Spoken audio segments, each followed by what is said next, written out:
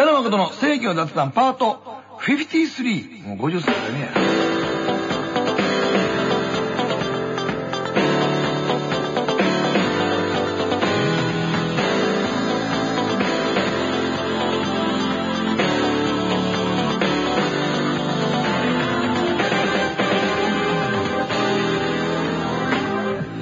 北野誠の正義の雑談第53回目を迎えました、えー北野誠でございます。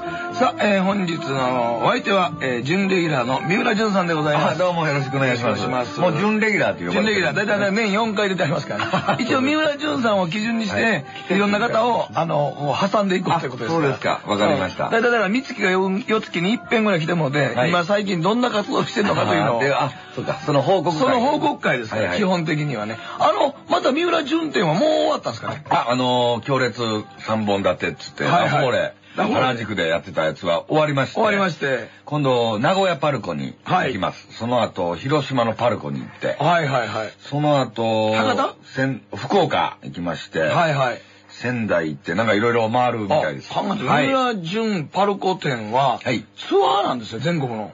僕割と基本的に展覧会はツアーなんですよ。はいはいはい。あ、のー、一回、今回の展覧会は、はい50号って結構大きいキャンバスに、まあ40枚近く絵描いたり、はい。あと、エロスクラップ、はいはいはい。えー113巻、あ、えー今113行きました。今、現在は116なんですが、はい。その時点では113巻をあ、えー見開きで全部カラーコピー取りまして、はい。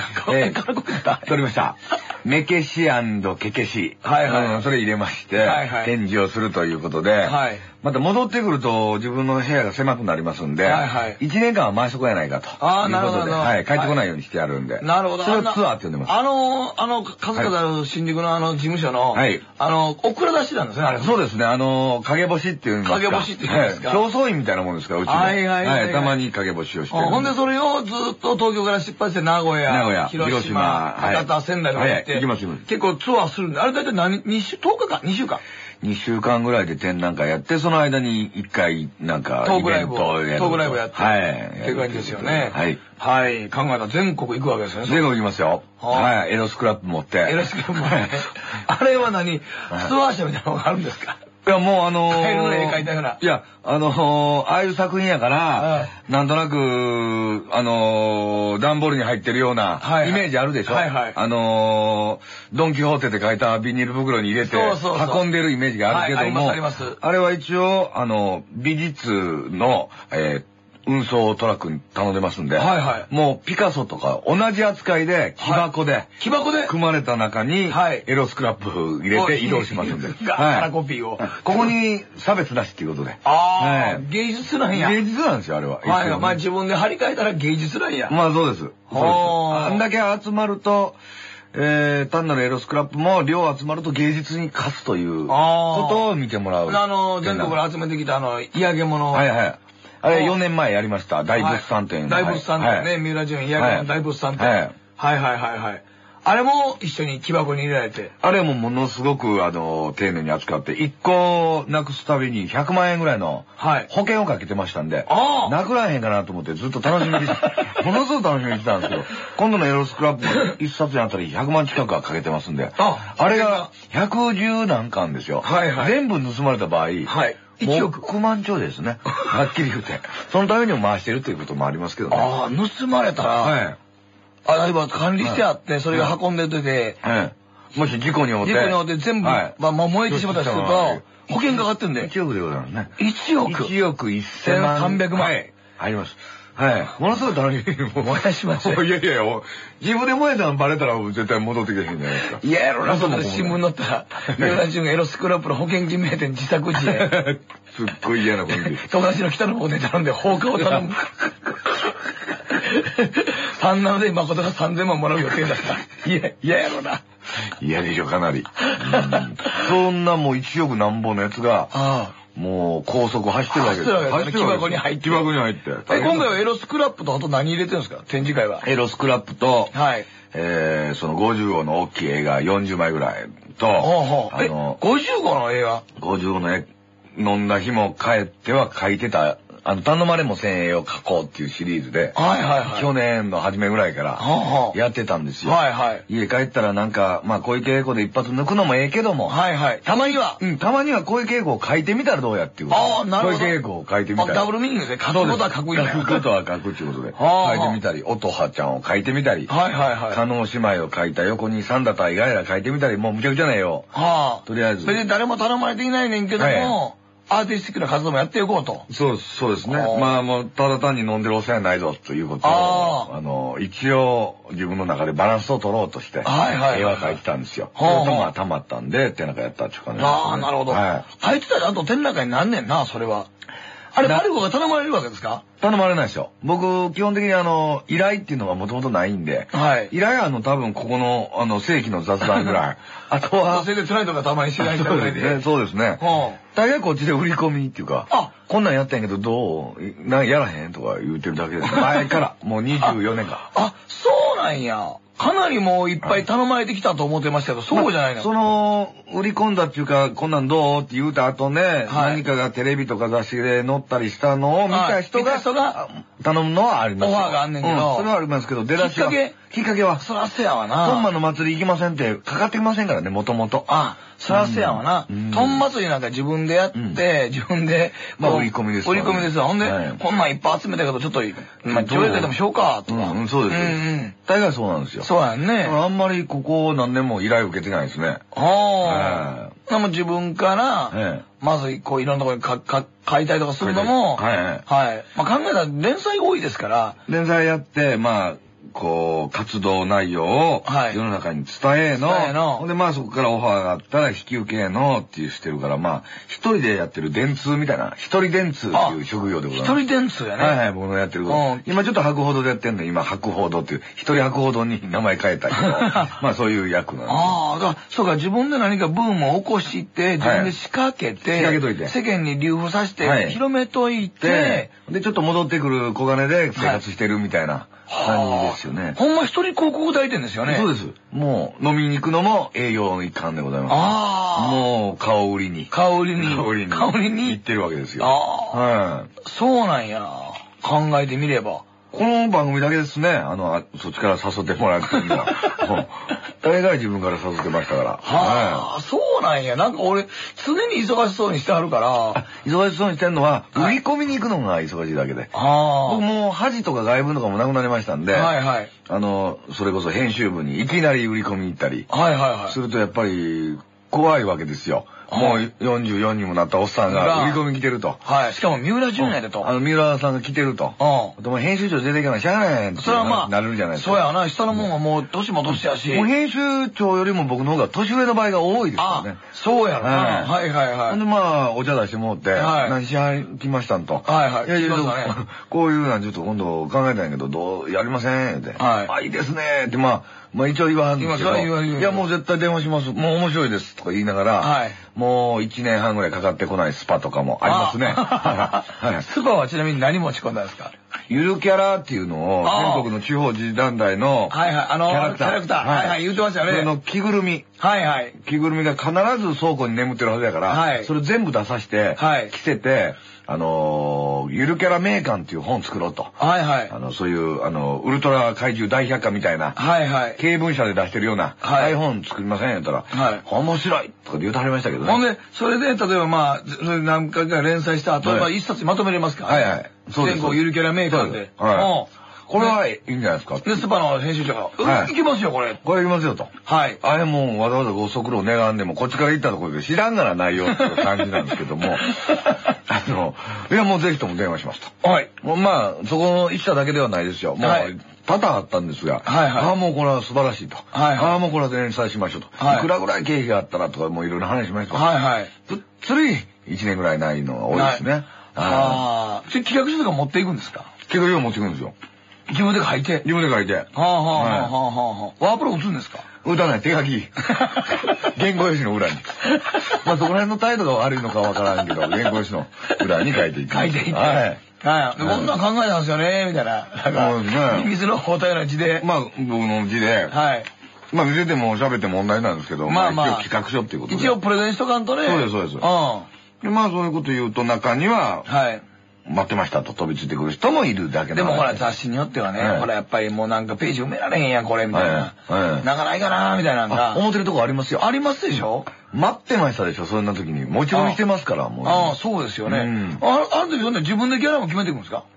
ギャラはね、さすが持ち込みしてるだけあってね、はい後までずっと我慢してるわけですよ。言わんず。ああ、はあ、自分かはら持ち込んでますから。あ。はいはいはい。で、とりあえず提示してもらった額から、はいはい額よりも、えー今は4万多く言うことにはしてるんですけども、例えばじゃあ皆さんこれ1本悪いんですけど1本5万。5万って言ったら、はいあ、すみません、9万でって言うと、必ず7万になるということなんで、あはい、必ずそうしてますけど、はい。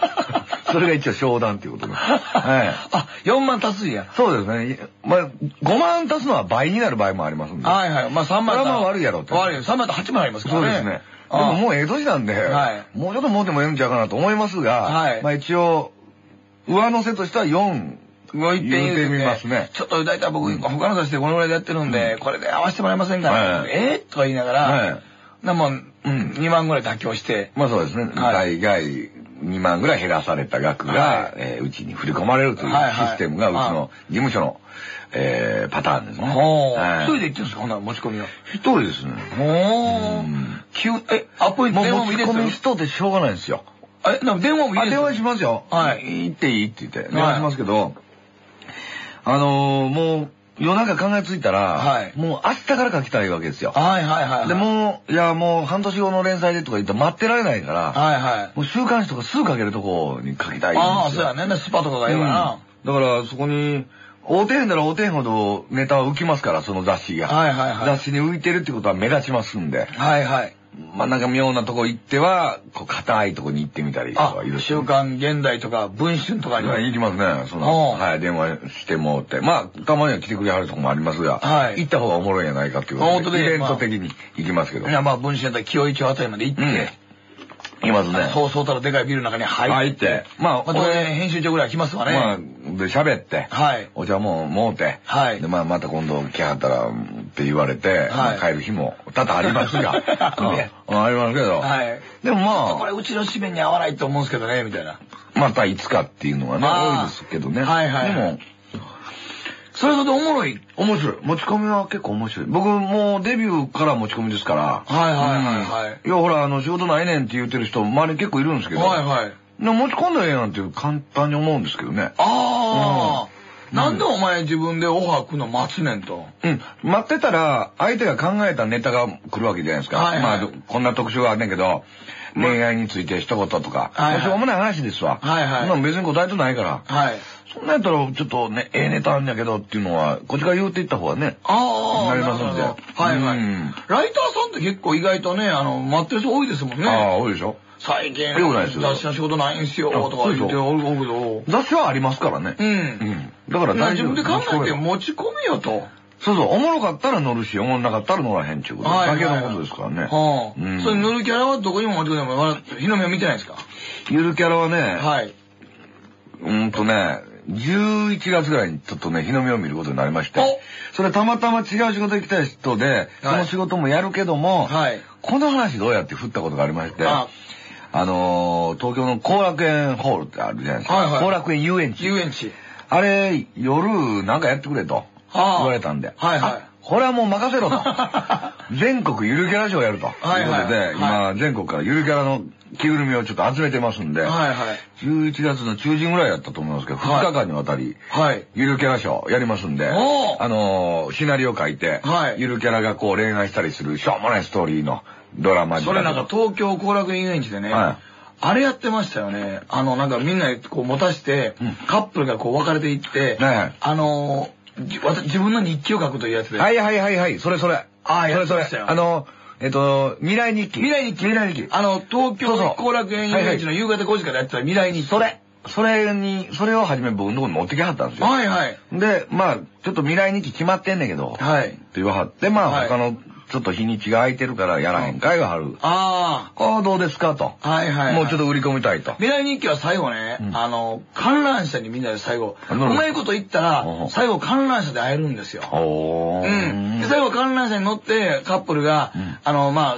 園内をね、はいはい40分か45分ぐらいで、うまいこと一気に入るんですよ。ちょっと遅かったら1時間ちょっとかかるんだけど、はいその時間差のタイムラグが、観覧車の前で、あの、男が先きついてて、はいはい何やっとんねんとか、はい。女が、まだ来ないわ。携帯は使わんようにしようってそれをクリアしていってという、何かの質問とかをクリアしていって、うん。最後よかった、やっと会えたねっていう、しょっちゅう会えんがな、お前なと思うんだけど、そのわざとその遠回りするっていうのが、あ意外とその、よかったと観覧車の前であったりとか、これが大ヒット。敵もやりよるね、なかなか。まあ敵ですからね、ゆるキャラ賞と。ゆるキャラ賞とバッティングして、はいゆるキャラ賞が負けたんですから、それに。その、その、未来日記に。負けたんですよ。で負けたんやけど、ちょっと惜しいと。はいキャラクター賞も。ということで、11月に、こう、夏から。夏からに行ったと。いうことなんゆるキャラは何すんの？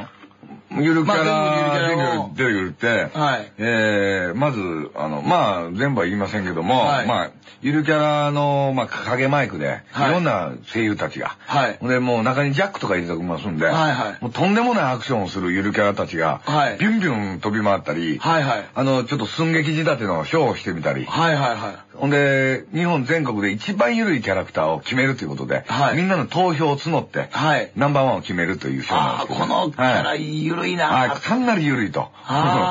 それを決めるショーなんですよ。どう、こいつがあの子供の前に来ても、うんどうリアクションしていいか分かれへんっていうキャラ地方にいますからね。はいはい。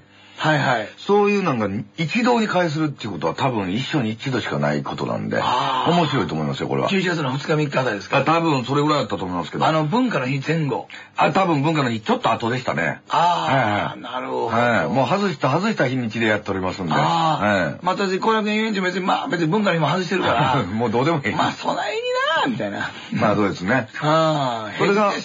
ゆるキャラと未来日記が VS したということだったんですよね。ああ、なるほど。実はもう、もう地下でそういう戦いがあってるわけですよ。ああ、まあ世間では未来日記のイベントやってみんなわーって言ってる。はいはい夏休みのメインですわねメインや、わー言ってたくさん人来てやるって言うてる、その裏を返せば、はい俺の考えたゆるキャラと対決してたわけですよ、企画が。ああ、うんなるほど。そういうこともあるんです日よ。本前後に日の目を見ない倉庫に眠っているカビタ。うん、カビタ、ゆるキャラミュージックショーねはいあの、未来日記。みんなが観覧車の前で涙流してはい抱擁し合うという、バーサスしてたわけですね。それがもう、打ち合わせでももう10回ぐらいやりましたね。はいはい。で、ちょっと待ってとか、いろんな企画会社からこう募ってますから。あ、プレゼンしてますかね。はいはい。で、こっちの企画会社は、ゆ日本全国ゆるキャラ賞を推してると。はい。で、こっちは未来日記をプレゼントしてる。はいはいうん、五分五分やっていう時はあったんですけど、ほうね、あの、最後で一気にまくられて、はいはいもう、ちょっと残念やけど、ちょっと夏はっていうことになりました、あれでも、たそれってなんかうちのね、俺のスケジュールに、仮 CM って書いてあるんですよ。うん、うん。でこれなんや？ってうん言ったら、いや、あのなんかある、ある広告代理店が、孫さんメインで考えたあの全日空の CM をうん今最終決戦まで残ってるんですよ。ああ、ええすごいや。すごいやん全日空の CM なんとか言って。うんで、結局なくなったんですよ。うんで、誰が出てるのかもって役所工事が出てたんですよね。あー要は役所工事で俺が最後まで争って、俺はそのプレゼンみたいにどんな企画で俺が最終まで残ってたんやろと思って。あれすごい普通役所工事やろ、なまともに考えても。うん。ね、また次しばらくしたら、また全日空の CM 借りで入ってたんですよ。うん。おう。わ、2回目やと思って。うん。まだ孫さんの前の企画ちょっとアレンジして、なんかどっかの代理店が、なんかあの孫さん押しててうん、これが全日空の割とまた最終の3つまで残ってるっていうね。で、抑えとかなあかんすよ。2日抑えたんね。うんね、ないなと思ったら、あ、なくなった、なくなったんや、もう休みしとこうとか言ってたら、正月見たら、松坂がなんか、はあの、150キロ以上球投げる人入って手上げるようになったああったあった。あれあれ。あ、あれ変わっていた。あ変わってて。で、俺松坂見て思ったんやうんこれやったら俺の方がおもろかったんちゃうかな。この、この、あんなのやってるこのハンバーガー戦略っていうのはうん、誰も理解してへんやんと思って。ああれ、これからあれか、機内食全部ハンバーガーに行かんかなんかと思ってましたかね、みんな。ー違いましたからね。違いましたからね。残ってそうるんで。いう企画の時に立てられて、なんでこんな人と勝負してんやろってそう思いますよ。ほんまに役所。所工事と勝負ではい松坂と勝負したんですから、僕。うん。ああ。あれじゃなんなんやろなと思って。うちもたまにそういう仕事来ますんで、あはいはい。れ？と思ったらもうすごい人が、もうビッグネームがやってる場合ある。そうでしょ？当て馬かいと思う、単に。そうそうやねほんでもう意味もない。あの、競馬でもあるんでしょ？もう全然、もう何にも関係ないとこにいる人いや、まあ、いますいます。まあまあ、たまに馬主さんもね、ぼちぼち走らしといたら、あの、手当てもらえるし。あの、1、2は意味あるけど、後のやつってもう、そう、もう、別に何でもいいわ着ばっかり続けたやつなんかもうええやんと。で、馬主さんがまだまだと。いや、もう、調教師も硬いんやろうなと思ってますからね。またそういうのも、また役、役どころとしてあるわけあるわけですから。ね、そいつがいいんなら1位もいないわけですからね。はいはいはい。まあだからそういう意味では、ゆるキャラとか、全日空の CM の俺っていうのは多分近いもんがあるんですよね。でも最終まで残ってますっていう。どう、ど、だから俺見たいよね。どんなプレゼンを出して、みんなが、ちょっとこれ、ちょっと様出してから残しとこうって思うんでしょうね。あの、その会社の人も、あの、最終プレゼンにかかっているということになったんですよ。はいはい。で、その時に、もうちょっと日曜日なのにすいませんけども、ビデオをちょっと撮らせてほしいと。はいはい。三浦さん直々ビデオで、プレゼンの会議場で、はいはい。このビデオかけますから。かけますから。どうぞよろしくやらせてくださいと。はい、そこまで俺言いたいないなと。そこまで言いたないよって言ってたけど、あ、もうぜひともうち、もう通ったら、もう何でもいいからもう口八丁で通ったら天下ですから。はいはい。ドーンお金きますんで。まだプレゼント最後の時に皆さん自身が現れて、弟子が持ってきて。そうそう。はい。で、そこのビデオの中で僕が頼ん、頼み倒すと、社長に。はい。それが、もう一番最終的に、一番効く兵器で、なんで、はい。ぜひともやってくださいって、日曜日返上してまた事務所行って、はい。で、カメラのビデオの前で、はい。すいません、よろしくお願い三浦淳と申しますと。はい。もう本当やりたいと。この企画がやりたいために生きてきたと。はい。もうなんとかの社長さん、はい、もうお若いですね、とかもうベンチャラまで言うて、ビデオに撮られて。それで落ちてるそのビデオをどうしたらいいねんっていう感じですよね。そのプレゼンのとこでシーンとしてるとこでかかってたんやと思うんですよ、僕の。社長がね、ムスッとして、何を言うとんねん。これ。マイナス出たでしょ。そう、逆に、ね。出たでしょ。うん。逆に出すことによって、あかん場合がありますから。ああ、そうでしょ。ほんで、多分それね、ささっと機械しまうときに、誰がビデオポッと出して、どうすんねん、これ。うん。不機嫌やったよ、みんな、これ。まあ中には好きなやつで私もうとくわってぐらいのやつはいるやろけど。そうそうそうそう。で、これ綺麗やから俺もうとくわとかって。ミラジュさんが謝ってるしなとか言って、そんなん持ってるやつおりますからね。ほんで、その謝ったこともあったし、はい、謝ったビデオもあった、はい、そのプレゼンで、ほら、その全日空でもかかったと。はい、で、その間は、ちょっと来るんちゃうかっていう、ワクワクするわけワクワクするしますよ。ほんで、ちょっと寝る前に、はい、ちょっと目つぶったら、どんな CM やろうと。そうそうで、孫さんの前、なんか出てて、機内で、はい、なんかこうやって喋ってるのかなとか。そうそうそう。かなり夢を見る。夢見ます、見ます。で、次の日とかなんか友達と酒飲み行ったら、はい、いや、今度全日空の CM 出るかもしれんねん。ぐらいは言うでしょ。すいません、もう飲み屋で言ってました。あ、言うでしょ。もう悪いけども、ちょっと今全日空最後な、ちょっとあの、争ってんやんか。もうひょっとしたら来週ぐらいにも撮ったら、三月後ぐらいに全日空の飛行機の CM よう見るかもしれんから、まだ。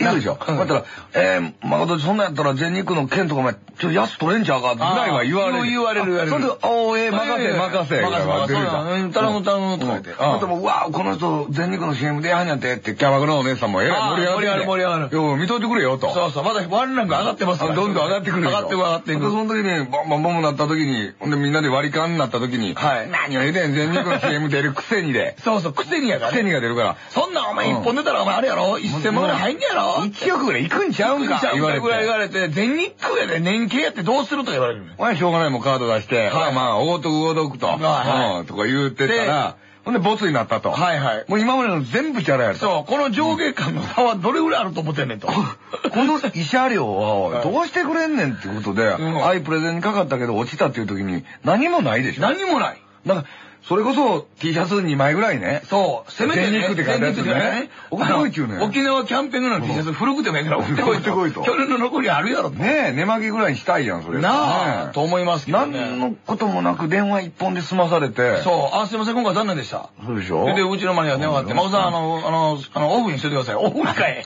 オフかい。それはまあ、一週間前に仕事入れんからね、もうちょっとおさだったら、他の人断ってるんですよ。あ、そうでしょ？他の人来てるやつも合わんから。全日空の CM 入ってますから、今。で、みんなもう思って全日空の CM やるんかと。何やろ、それ、と思いながら。そんな時に雑談入れてる場合なんやろ なるやん、やっぱり。なる。今日やったら、絶対全日空行ってるでしょ行ってるって当たり前やん。当然でしょ。当たり前でしょ。だっていいです。何言うと雑談やってる場合やないやと。もうごっつい金が動くんやと、俺の中で。あるでしょまあね。でも一回夢見させてもらって、その運命の差の間がないっていうのが痛いね。痛いよな。でもね、俺 CM の話で思いましたけど、トヨタのね、最初エコのコマーシャルね。エコ。ほんまに流れたことあるんですよ。3期間限定で。あの、エコのこの、なんかね、エコ、エコ、エコカーで、これまで、まあ、ずっとあの、世田谷のところへん、朝早くからずっとやった時ね。まあ、その時僕の後が谷村新司さんとか出てはって、なんか知らんけど僕は、なんか自分の意見を持ってるからいうキャラやから、この人何でもはっきり物言うタイプやから、っていうことで通ったらしいんですよ。すごいですね、CM 撮影中。なんかあの、渡り、渡瀬恒彦さんが乗るような、ああいう、あの、ね、ね、休憩時間を寝てられるようなワンボックスの。一台用意して。一台用意して、もの、あの、なんか、だい、なんていうの、水も出せる。キッチンもついてる。グレート清水国明みたいな。ああ、そうそうそうそう。それに乗せられてメイクさんついて、あの、マッサージもしてくれるお姉ちゃんもおって、肩とか揉んでくれはって。そんな車が。してくれて、ほんでその中で衣装も何パターンか置いてあって、ちょっと今、あの、休憩っていうか、じゃあのまだちょっと今、あの、照明とかカメラ位置変えてますんで、1時間休んでくださいってまたカッと軽く寝てて。で、また髪の毛ちょっと、髪の毛ちょっと緑だらまたガーってやってくれて。至れ尽くせんですよ。そんなん見てて、もうテレビで流れたら、おエコのコマーシャル出てるやん、トヨタでしょ、うん、なんもナイトスクープの小枝兄さんとかが、うん、1000万ぐらいもうたんかうん、いや、そんなもうてないっすよ、とか言って、いや、トヨタのエコやで、とか言って、みんなほんま最低でも500万ぐらい持って思ってるんですね。でも僕正直からもうたん80万ですから、それ。うん。リアルな話したな、今。リアル、リアル。80万ですリアルな話やな。で、でもね、そんなもんやけど、うん、CM 出てるとやでね、お笑い芸人の、大体自分のライク分かってる、ナイトスクープ班ですら、500万は持ってるはずやと思うから、な、僕ね、僕もね、正直言いますわ、ギャラ聞いてなかったですよ。安うても300やろと思ったから、おごってましたもん、ずっと。やっぱりおごるもんね。人間、ねやっぱりバランス取ってかな。儲かったら人におごるとか。そうそう。あかんわ。あ、みんなで飲み行こう飲み行こうって正規とか石田し連れてね、年末ですらキャバクラも行って、ウィー言って一晩で20万とか使ってましたウィー何回もね。80万でしょ足でバランス。はよ払えっちゅうじゃら。もうビデオ何回も見たらしゃあがない。なコマーシャル。ほんま、ビーズステイグリーン。北野誠の世紀の雑談。この番組は TBS ラジオ北野誠保存会の提供でお送りします。さあということで今日は、えー、三浦淳さんがよろしくお願いします。来てもらっておりますけども、はい、えー、トン祭りに招待されておられますが。沼田市のはい。夏祭り実行委員会の白井さんから、はい。なんかこういただいたんですが。去年、はい、行かれたんでしょ？ここで言うたんですかねはい、言うてました。僕ね、はい。去年の8月確かに行きました。沼田市の、はい、群馬県は。はい。沼田天狗祭りっていうやつで、はいはい。だしにものすごいでっかいでっかい天狗が、2台、だしが出るんですけども、はいはい。もうその天狗のは、こう、鼻がビーンってなってて、はい、鼻の房のとこが、はいはい、もう確実に金玉だという感じのものが、ビンビンの状態で2機走って。はい、2機ですか ?2 機ですね。はいはい相当ですね。ジュラシックパーク2ですね。あ、2ですね。2機走って。はいはい。右に一眼レフ、左にビデオカメラ持って、はい、必死で押さえました。押さえました。多分この人必死で押さえてる状態を見たはったんやと思いますね。みんな注射来たはるわ、必死やと。の人でもないのに。僕その一回、あまりにも、もうビデオで、あの、目、こう、見てますから、ビデオで、こう、はいはい、ファインダーとかで覗いてますんで、はい、もう周りの状態が見えなくなってて。そうでしょうね。僕一回その、天狗のでっかい鼻の出しに、惹かれそうになりました。前出て撮ってて。ああおいって言われて、何言ってんのかなと思って、ふっと見たらもう、ギリギリ惹かれそうになってましたんで。ああ。もう夢中なんで、あんまり声かけないでほしいんですけど。ああ、ミキの天狗に。もう必死でしたね。それはもう T レックスに襲われるようなことですね。もう必死の状態ですんで。はい。俺、この間、えっと、4月にですね、はい、岡山のね、はい、津山市ってとこに行ったんですああ、津山、津山。はいはい。あのあの、あれですよ、今日、あの、岡山西の小京都と言われてる。あ、そうです。城下町ですそうです、そうです。はいはい。津山何人殺しって有名なんだあ、あの、有名なの。ね、戦前の事件でね。もう偉い村中殺し。あれは、何やったなんか映画なってますよね。古山さん。村。あ、八坂村もそうやし、あの、古山さんでね、あの、あったあった。えっ、ー、と、何でしたっけ？ありました？ありました、見ました。あの、ざまみろでございますよってやつね。最後自分の首にピストルを猟銃入れて撃って、ありました、ありました。ざまみろでございますよという、あの、戦後、戦前のね、ほんまは、あの、軍隊に、日本軍に入りたかったのに、あの、結核で、老害で日本軍に入れなかった。実際の事件がありましたね、八坂村ね。はいはいはい。あそこ、まあ、津山言うたらそれしか浮かびませんが、はいはい。そんなもんで売っていくわけにもいかず、津山市も。まあ一応小京都で売ってますまあそうですね。そんなね、津山村、村、村全部が廃村になったことは何もしてませんけどね。そうですね。はいはい。まずこう行って、そこからちょっと行ったとこの、えー、お寺に行ったんですよ。はいはい。そこあのえっと、僕が見たかったのは、はい、その、まあ、トン祭りの、まあ、一緒なんですが、はい。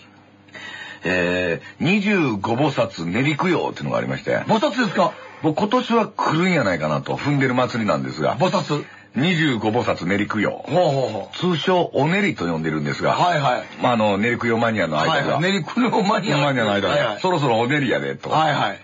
練る、練り歩くの練りなんですけども。はいはいはい。あの、山門から本堂まで、はい、あの、橋桁が組んでるんですよ。ほうほうちょっと高い橋が組んであって、はい、その橋の上を25 5人の人が、はい、仏像の面かぶって、仏面かぶって、仏面かぶって、かぶって、で、仏像の衣装着て、はい、で、その橋の上を、こう、歩かはるんですよ。はいはい。でもその仏面には、目のとこ穴が開いてないんですよ。はい。え？開いてないんですよ。開いてない。開いてないんですよ。これ闇雲に。闇雲にあるとあるわけですよ。ほら、勘だけで。まあ、横に替え添えの人がやって、はいはい。手を引かれてるんですはいはい。普通、仏像っていうのは、背筋をシュッと伸ばして、はい、シュッと立ってるイメージあるじゃないですか。ありますあります。で、中に入った人はおばあさんとおじいさんなんですよ。はいはい。もうそろそろ極楽が見え始めた人が、もうそのまま極楽浄土に行ってもおかしないような。おかしないような人が入ってるんで、はい。もうくの字に曲がってるわけですよ、腰が。ああ。ほんで、仏面はものすごく前の状態になって、腰曲げて。はい、腰曲げてますわね。ほんで、言うてみたらあんなカゴをしてるような。そうです。おじいちゃんおばあちゃんですね。そうです。カゴをしてるような。はい。で、そこに、あのー、横山康さんの、メガネメガネの状態で、はいはい。前が見えてませんから。見えてません。必死になって練り歩く図っていうのが、はい。それがお練りなんですよ。はいはいはい。こんな面白いことはないと、前から思ってたんですよ。はいはい。これ行ってみなあかんなと思って、4月に行ったんですよ。はい。そればあさんとじいさんの時で、えー、25体、はい、こう、歩いてありましたわ。はい。で、その後に今度は。割と不安定な橋なんじゃないんですか？不安定な橋なんですよ。細い橋なんですよ。そうやろ？危ないんですよ。危ないよな。相当危ないの。はい。何年か一度やっぱ落ちはるらしくて。その、そんなこと聞いたら落ちるとこが撮りたくてやっぱ、はいはいはい、必死でビデオ、いつ落ちるのかわかりませんから、もう必死でビデオを押さえて、はい。まあその時は落ちはりませんでしたけど、で、その次に白浜行ったんですよ、はい。先月。白浜。和歌山の白浜。はいはい。和歌山県は白浜。はい、まあ言うてみたら南紀白浜でね、はい、ワールドサファリもあって、パンダもおるし、温泉もあるし、ロケで行ってますもん。うん。ロケで行ってるんや。いや、あんなとこパンダいるの全然知らんかった。あの白浜ワールドサファリ。あれ何年ぐらい前が出ていやもう、え、5、6年前から。ほんで子供もあり。子供もありの。ヒンヒン。ヒンヒン、はいはい、ヒンヒン。あの、白浜の浜って書いてヒンヒンって読ます。そうそうそう。まんまやろっていう。そう。で、浜浜って書いてヒンヒン。ヒンヒン。はい。梅みたいなやつもいるんですよ。ああ、それを知らんわ。なんとかバイバイバイバイみたいな名前で。あそこほら、梅の名産やから。あ、そうそう、紀州の梅です。紀州の梅やから。はい。もう無理やりパンダ中国から来てんのに、無理やり、和歌山の名産付けられてる名前で。はいはいはい。すごいおかしかったけど、あ、5年ぐらい前か。5年ぐらい前。もうだったナイトスクープでね、あの、パンダのうんこは、あの、草餅の匂いがするっていう、その小学校のなんか、え、あの、なんか、絵漫画みたいなのがあって、書いてあったから、それがほんまかとか確かめたりで、パンダのうんこを取りに行ったんですか？行きました。ワールドサファリの方に頼んで3日ぐらい前からうんこを保存してもらいました。あそこはガラスに入ってるじゃないですか。ガラスに入ってます。もう中に入れてもうて。中に入れて裏に入ってもうて。はいはいはい。なんかパンダが、あの、ぼーっと座りながら、ささ黙ってバキバキ食ったんですけど、その瞬間なんか居酒屋にこんなおっさんおるなと思っただけ覚えてますよ。もう居酒屋で顔殴られてうだい言うてるおっさんとそっくりですよ。スルメかじってるおっさんと、太った。なんかコレステロール高そうなおっさんでしたわ。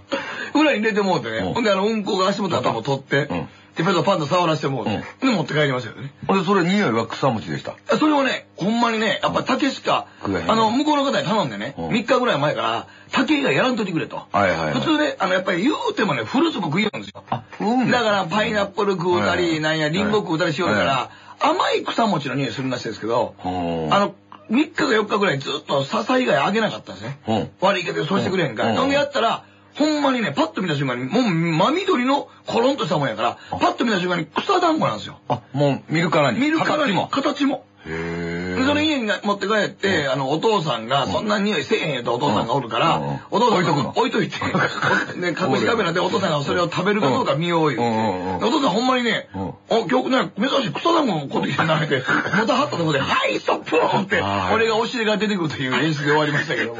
まあ、それ口まで運んだったらもうスカトロやから。そうそうそう、スカトロになったそれはちょっとさすがにあかんから。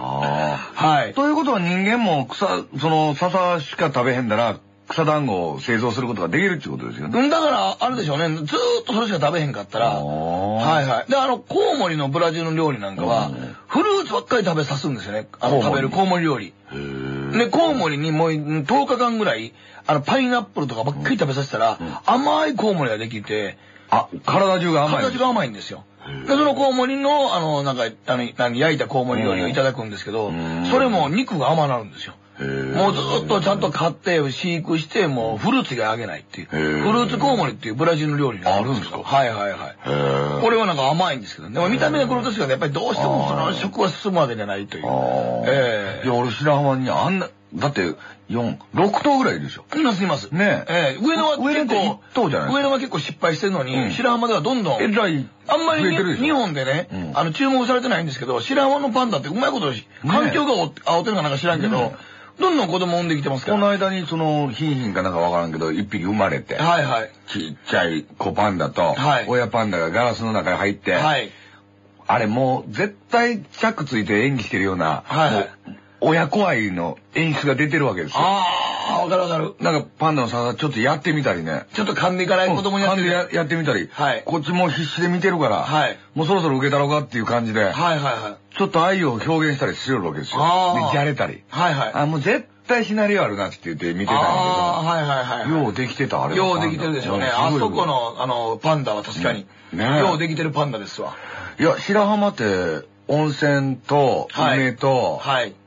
ぐらいしか知らなかったけど、はい。パンダはそんなに種類いるっていうのは知らなかった。ああ、あそこでかいでしょ？でかい。ワールドサファリは。ジャイアント。あの、中がでかい。あ、シャチもでかい。あそこすごかった。あの、ものすごいシャチが、あの、ボーンと上に上がってきて、人にキスしよるでしょ？あ、しよったしよったしよった。しよったしよった。これで陸に上がってしよった。プールサイドに人立たして、上がってきよるんです、シャチが。ほんで、ポンと取って、ちょっとエビ反りになりながら、下ちょっと出して、ほっぺにキスして帰りよるんです。帰るあんな、あのショーがごっつドキドキするんで、怖いね。ものすごいでかいね、またこのシャチが。あんなもん、あんなシャチ、もうそろそろもう、年取ってるから、海に逃がしたろうかなって言って、はい。友達同士でバーッと逃げていきよっても、その後あの芸出たら冷めるやろね、他のシャチが。何覚えてきてんねんってことやろね。そうやろ、ね。陸に上がって中は。あれ普通シャチ界ではないことやから、ね。でも意外とあのね、関西近辺ではね、白浜ワールドサファリ有名ですけど、関東の方知らんですよ。知らん知らん。あんな見るんやったらまあ白浜がいいね。そうです。そう思った。あ夏休みにね、だからね、一泊二日ぐらいとかね、あの白浜行ったらね、あの、そのワールドサファリ見て帰って海水浴もして、で、夜はあの、地元のヤンキーがバイク乗って暴れてますから。暴れてる暴れてる。毎日暴れてますから。なんでヤンキーってあんな多いんやろ。よくがあるだけ詳しい、詳しいでしょ。白浜。地元に芝浜詳しいですよ。あれもっと、でも和歌山なんだ、もっと行ったら、ようあんな遠いとこ行きましたね、もう。飛行機で行った。自転車やん。あるんですよ。あの、飛行機ではね、唯一ね、白浜行きの飛行機一本だけ出てますよ、羽田から。あ、そうなんですか午前中一本、午後一本。へえ。はいはい。そうなんですか。うん。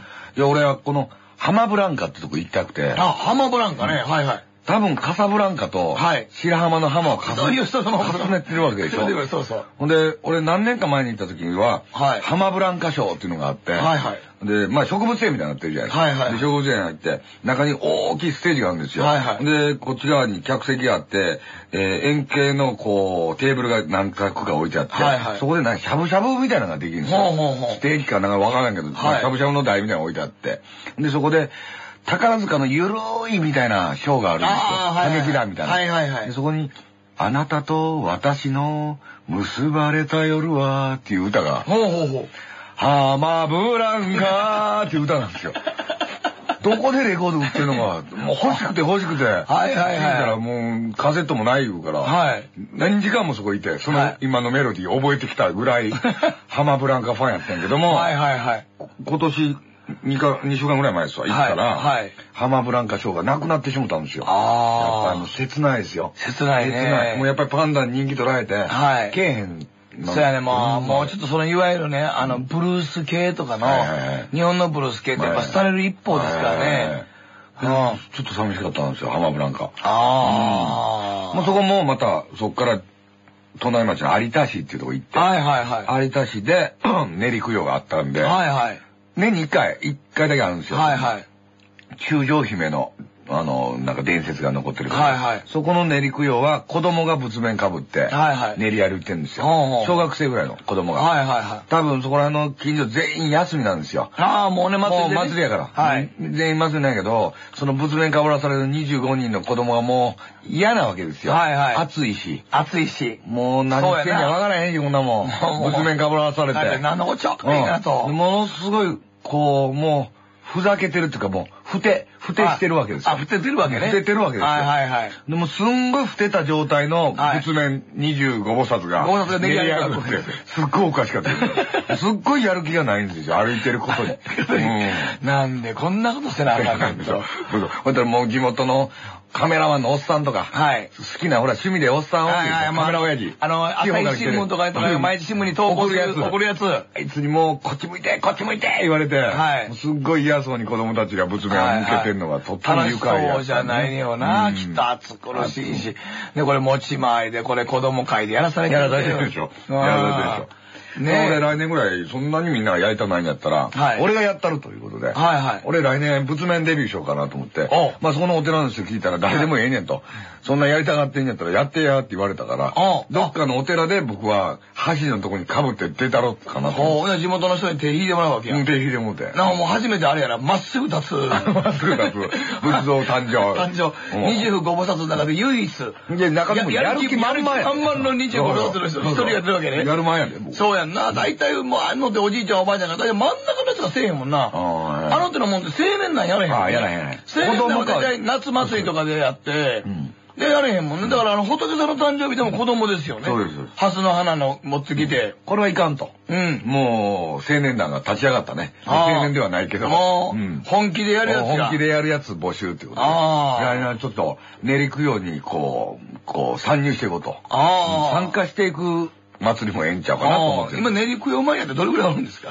まあそこ行って2カ所今行きましたけど、はいはい、もうちょっとしたらまた東京でもあるんですよ。九本仏っていう。あ、九本仏。はい。あそこ3年に一度なんですけど、今年なんですよ。あ、今年当たり年 ?8 月、8月。8月当たり年。もう仏面供養で25菩薩、あそこも練り供養やりそれはもともとね、25菩薩の練り供養っていうのは何のためにやってるんですか？もともとそれはほら、浄土信仰で、はいはい。あのー、法然上人ですわ。はい。あのー、西方浄土から、はい。えー、死者を迎えにやってきはる。あ、西の極楽から。はい、西の極楽から、はい。25菩薩が、はい。いろんな楽器を持って、で、やってきはるんですよ。やってきはるんですよね。うん。来合しはるんですよ。はい。そのショーを、まあ言うたら、仏像コスプレ、はい、仏像アトラクションショーで再現してるっていう、ああ、なるほど。うん、つまり25菩薩が西方浄土、極楽浄土から迎えに来てくれやるということを再現しちゃうわけ、うん、だからその東映のそのアクション系の、はい、その後楽園遊園地でやってる、はい、あのなんとかショー、チェンジマンショーとかあるじゃないですか。はいはいはい。あれと似たようなものなんですよ。はいはいはい。僕の中ではね。はあはあはあ、だからもうちょっと中にジャックとか入れていけば、もう、生にはね、がバクテリア切ったりすることだってあるわけ切ったりとかしながらね、たまにはベッカムヘアしたやつがおってもええわけや、髪の毛自由やねんから。いいんですよ。いいんですよ。ほうほうほう。そこにちょっと新しい息吹を入れてこっちゅうのが。今。誰でも参加できるよ。誰でも参加できますよ。寺のご住職に聞くと。うん。まあ、1年前から申し込んどいてやって言ったましたけど。でも1年待ってられるかどうかはわかりませんけどね。ああ、申し込んだら、ええよと。ええ、言うてはりましたよ。それどっちの方に行くんですか？ジジババの方、子供の方。いや、僕、日本全国で二十何箇所やってるんですよ。練り供養って。練り供養。ちょっとインターネットで調べてみると。はい。はい。一番ええ舞台に立とうと僕は思ってるんです全部見て。はい、はい、はいはい俺ならこの舞台がええなとか。ああ。やっぱり新宿コマの方がええなとかっていうのあるじゃないですか。規模。コマがええなとか、視点がええなとか。はいはい。やっぱり現場見てから、ここ、ここ一年回ってから。でもそのクエン仏の東京のやつは3年に一遍でしょ。今年見たらもう、もう3年。3年後、ワールドカップ並みに遠いわけじゃないですか。そうなんですよ。そうなんです。そこはちょっと厳しいです。ああ。来年狙うには、どこがええかっていうのもちょっとね。ほんで、ね、どんどんそのイベントも、なくなりつつあるイベントでね。はいはい、はい、やっぱりそんな人集まりませんし。うん。何やってんねんのもあるやろし。電話しても問い合わせても、今年はもうやりませんとか言われてね。あ結構2箇所ぐらい行けてないんですよ。人が集まって集まってないんですよ。そこに光をやっぱり僕が与えるべきだっていうこと。まあ地味やしね。地味ですよ。何の音楽もないですから。ただ歩いてはるだけですから。ああ。そこにもうちょっと、ねりねり食うよ、ねり食うよ、みたいなね、はいはい、ラップみたいなのがあるとか、ね。ラッパー系があるとか、うん、もうちょっとね、で、今の文化入れてみんな、みんなが渡り切った後に、ちゃんとその、供養、あの、く、あの、供物みたいなもんちょっとみんなに配ってね。あはいはいはい。はいはい。配った反応ってね、紙のね、なんかこういう、なんかこう、凡字が書いてあるような紙を、バー配ってあるぐらい。えー、そんないらんわけですよ。いらんわ。それやっぱりあの、ちょっとほら、欲しい。あの、豆巻きみたいに紙紐つけて上から豆巻いて、みんなが幸せになるとか、なんか、なんかなかったらな。なんかないとね。まあ、ペプシのキャップ、スターウォーズのキャップでもやるとかね。もうちょっとね、愉快にしてかな愉快かなんかいるよね。うん。それと地元の人はもう、もうそれ、廃れていく一方やもんな。そうですよ。どんどんそういうやっぱりね、祭り系って廃れてますんで。うん。新しい。やっぱ派手さがないとどうしても。でもね、ビックスは派手ですからね、その、黄金の顔ですから。仏像ですから。すごいよ。それはまあそうですね。ピカピカで、で、あの、後ろに。下手したら、マグマ大使みたいな顔あ、そうそう、マグマ大使状態。はいはい。で、後ろに5個っつって、こう。あ、後ろの、光の。あれもつけてますうわ派手じゃないですか。派手ですよ。なでもなんか音楽いるな、それやったらもう。音楽はね、ちょっと、護衛歌みたいなのちょっと小さく歌ったはんねんけど、ちょっと地味やね。ああ。もうちょっと、なんか、島歌でもちょっとアレンジしていくみたいな。もうこれブームに頼まなあかんじゃないですか？うん。なんか、ちょっと仕掛けていかなあかんなと思って。そうやな。一人で心配しながらビデオ撮ってるっていうことなんですよ。なるほど、一曲いきました。歌の光る。幸せになろう。北野誠の世紀の雑談 TBS ラジオがお送りしておりますさあ、えー、今夜のお相手は三浦淳さんでございます。はい、この間ね、はい、あのー、大阪の番組でね、なんか女のあんまり知らん職業いうのでね、ちゃんと実際にくっつき屋さんとか、うん、別れさせ屋さんってやってる人おんねんね、ちゃんと。商売で。はいはいはいはい。うん。別れさせ屋っていうのは、もう一人若い女を当てようってそっちで別れさせるようなやつ。そうそう。テレビ見たわなあ、そう、ほんまほんま。ほんま。だから本当、当の本人が、例えば奥さんから依頼を受けて別れたいと。うんうんうん。なら、当の24ぐらいの女の子が、まあまあ可愛らしい子が、その旦那のその生活パターンを全部奥さんから聞いて、偶然装ってコンビニとかで、毎、毎いつも会社にコンビニ寄る癖があるってな、コンビニの前で待ってて、で、その女の子が、その旦那が出てきたなと思ったら、ちょっと待って！とか言うて、何かなと思ったら、コンタクト落としてるふりするね。うん。で、どうしたんですか？って聞かれたら、コンタクト落としてしまったんです。って言って、わーっとこうコンタクト30分探して、ああ、もう目が見えないからどこかは駅かわからないって言って、その時普通に考えたら、あの、駅がわからないって何でもないこんなとこにおんねんって普通思ったりもすんねんけど、男ってアホやから、で、送っていってあげましょうかって言うてまうわけ。送ってまいりましょうかって言うたら、え、いいんですか？とか言いながら、目が見、あんまり目が見えないふりをしながら車に乗せてもうて、すいませんでした、こんな送ってまでいただいて、ってよかったら、あの、また、あの、お食事でもしませんかって言ったら、男の、ほんで、メール交換とか、携帯電話番交換するでしょ？うん、ほんなら、そんなで交換したら必ずね、うん、男の方からかけてくるらしいですね、もう。ああ、もうその時点で。その時点で。はいはいはい、はい。普通ね、女の子から、あの、またメール打ったりするんかもちゃうんですね。ああ、はい。必ずその日の晩に、家に帰れましたかって入ってるああ、なるほどね。はいはいはい。うん。ありがとうございます。本当にどうもすいませんでした。って、家まで何とかたどり着きましたっていうのを1時間ぐらいに打って、で、またお会いしましょうかってなったら、必ずあの、男の方から。男の方から、じゃあ食事でもいついつ会いましょうかって言ったら、必ずもう男の方から誘ってくるらしいですね。はいはいはい。100発100中やってましたね、これ。うん。ほんで、それで飯食うて。飯食うて、ほんで、あの、ちゃんと奥さんから依頼を受けてますから、まあ、男もやる気満々で来てますからね、もうそれはもう、こんなことがチャンスがあると思ったら、もう、やろうと思って来てますから、じゃあ言うて、まあ、そのゴダゴダしてるとこで、まあ、じゃあ行きますかね、みたいなこと言われて、ちょっとまあ、なんか、それ、酔っ払ってふりしてラボ行く時になって、当然もう一人別の会社の同じ会社のやつに同僚に写真撮ってもらって何枚か。